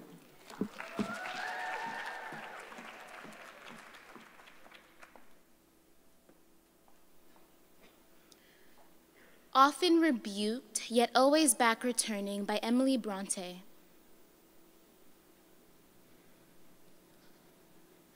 Often rebuked, yet always back returning to those first feelings that were born with me and leaving busy chase of wealth and learning for idle dreams of things which cannot be. Today, I will seek not the shadowy region. Its unsustaining vastness waxes drear, and visions rising, legion after legion, bring the unreal world too strangely near.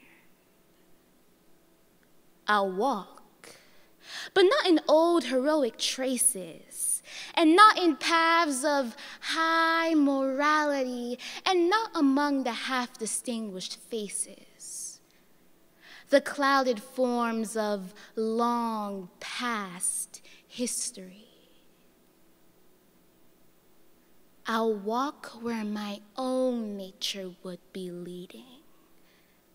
It vexes me to choose another guide, where the gray flocks in ferny glens are feeding, where the wild wind blows on the mountainside.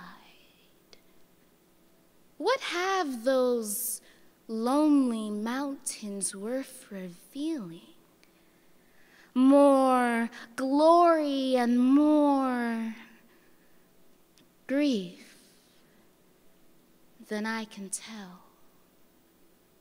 The earth that wakes one human heart to feeling can center both the worlds of heaven and hell.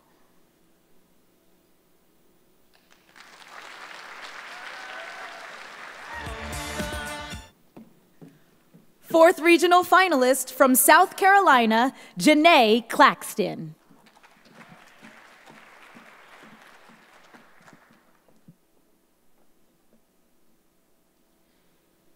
I go back to May 1937 by Sharon Olds. I see them standing at the formal gates of their colleges. I see my father strolling out under the ochre sandstone arch, the red tiles glinting like bent plates of blood behind his head. I see my mother with a few light books at her hip, standing at the pillar made of tiny bricks, the wrought iron gate still open behind her its sword tips aglow in the May air.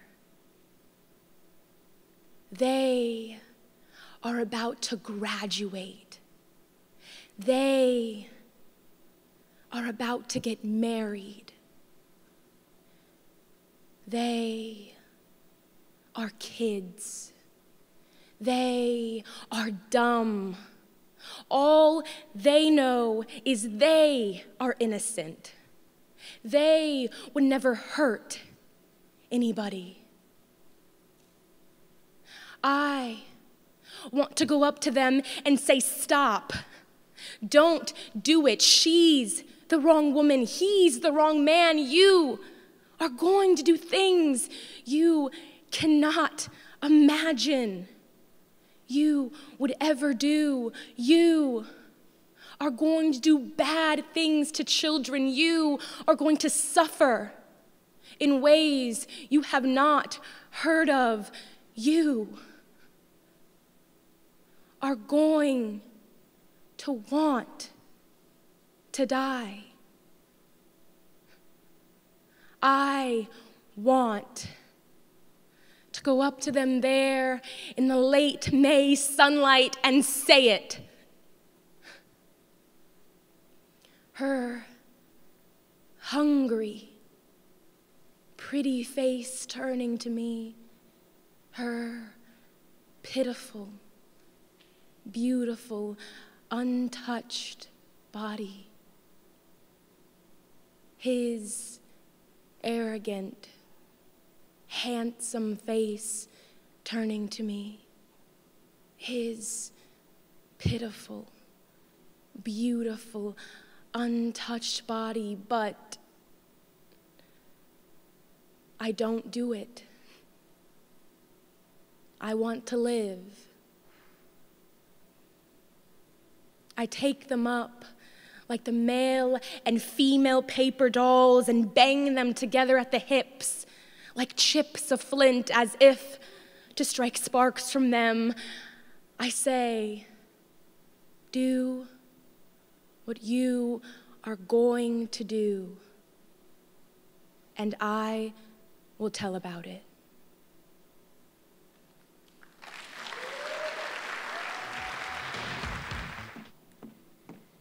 Your fifth regional finalist from West Virginia, Jordyn Marshall.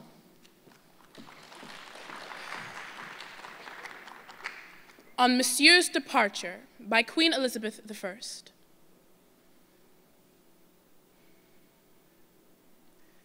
I grieve and dare not show my discontent. I love and yet am forced to seem to hate. I do, yet dare not say I ever meant. I seem stark mute, but inwardly do prate. I am and not. I freeze and yet am burned, since from myself another self I turned. My care is like my shadow in the sun, follows me flying, flies when I pursue it, stands and lies by me, doth what I have done. His too familiar care doth make me rue it. No means I find to rid him from my breast, till by the end of things it be suppressed.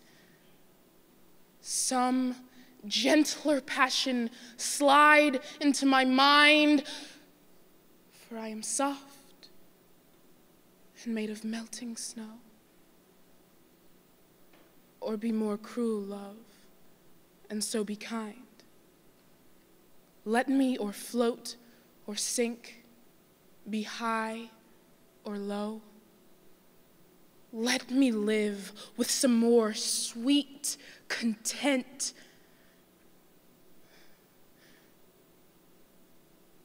Or die, and so forget what love e'er meant.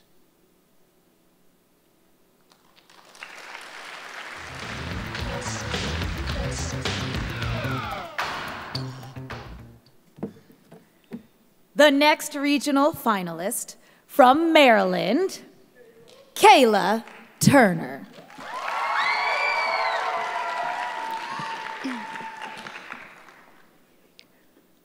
Discrimination by Kenneth Rexroth. I don't mind the human race. I've got pretty used to them in these past 25 years. I don't mind if they sit next to me on streetcars or eat in the same restaurants, if it's not at the same table. However, I don't approve of a woman I respect dancing with one of them. I've tried asking them to my home without success. I shouldn't care to see my own sister marry one, even if she loved him. Think of the children. Their art is interesting, but certainly barbarous. I'm sure if given the chance, they'd kill us all in our beds. You must admit, they smell.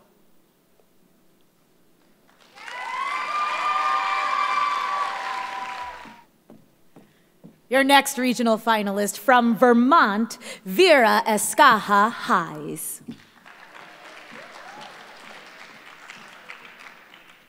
I am learning to abandon the world by Linda Pastan.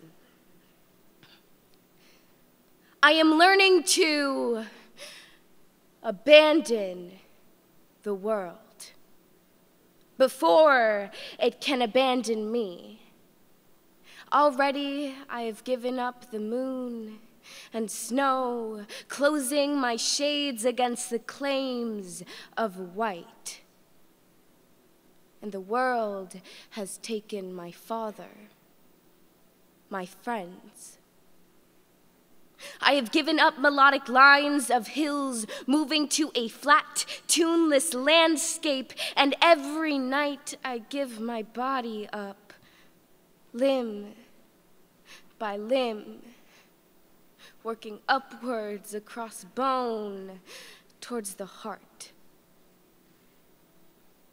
But morning comes with small reprieves of coffee and bird song, A tree outside the window, which was simply shadow moments ago, takes back its branches twig by leafy twig, and as I take my body back, the sun lays its warm muzzle on my lap as if to make amends.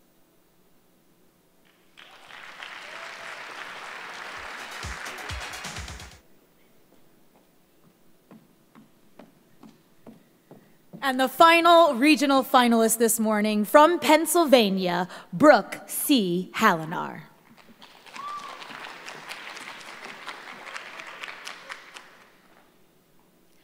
Constancy to an Ideal Object by Samuel Taylor Coleridge.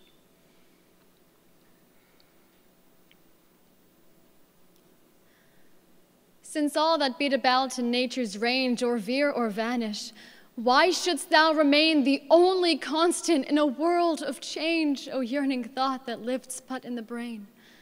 Call to the hours that in the distance play the fairy people of the future day. Fond thought, not one of all that shining swarm will breathe on thee with life enkindling breath. Till when, like strangers sheltering from a storm, hope and despair meet in the porch of death. Yet still thou haunt'st me, and though well I see, she is not thou, and only thou art she.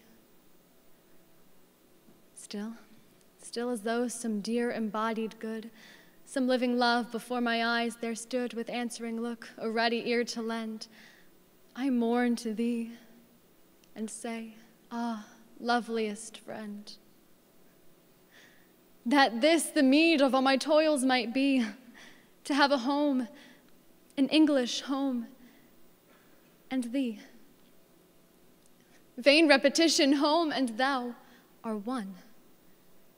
The peacefulest cot the moon shall shine upon, lulled by the thrush and wakened by the lark.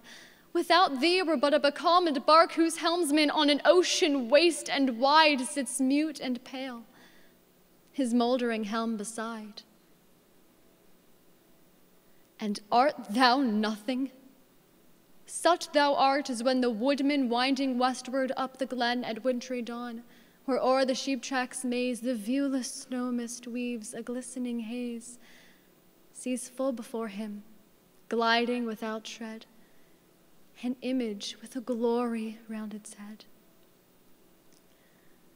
The enamored rustic worships its fair hues nor knows he makes the shadow he pursues.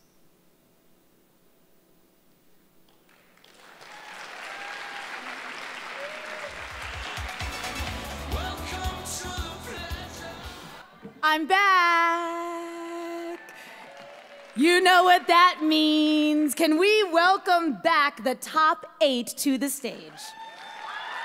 Big round of applause.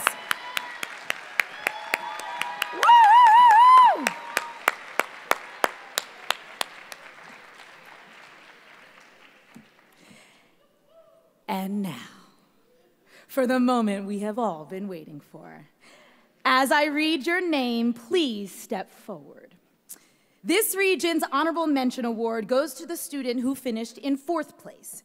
This student will re receive $1,000 in cash and $500 for their school library to purchase poetry books. This morning's honorable mention from Pennsylvania, Brooke C. Hallinar.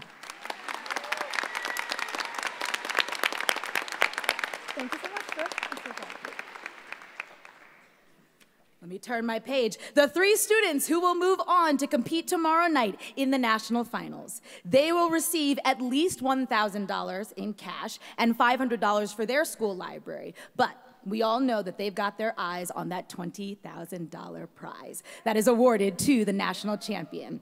In no particular order, here are the top three finalists. From Massachusetts, Xiadi Zhai.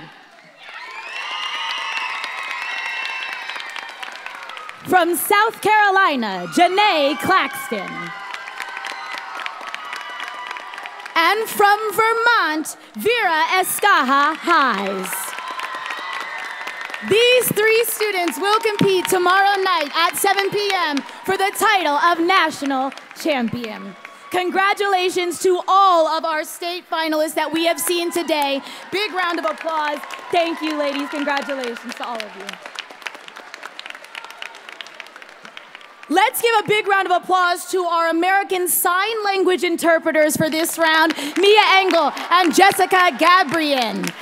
And Students, can we give a big round of applause to the people who came out this morning to cheer you on, the parents, the friends, all of you. Thank you for being here this morning. The next round of the semifinal competition will begin today at 1 p.m. So go out, grab yourself some lunch, but come back and join us as the students from the South and the Midwest battle it out for the next three spots in the national finals. We look forward to seeing all of you tomorrow night for the national finals competition. Congratulations to all of you.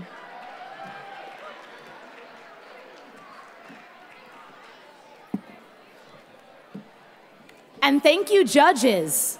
Nobody thanks you all, but thank you for your work this morning.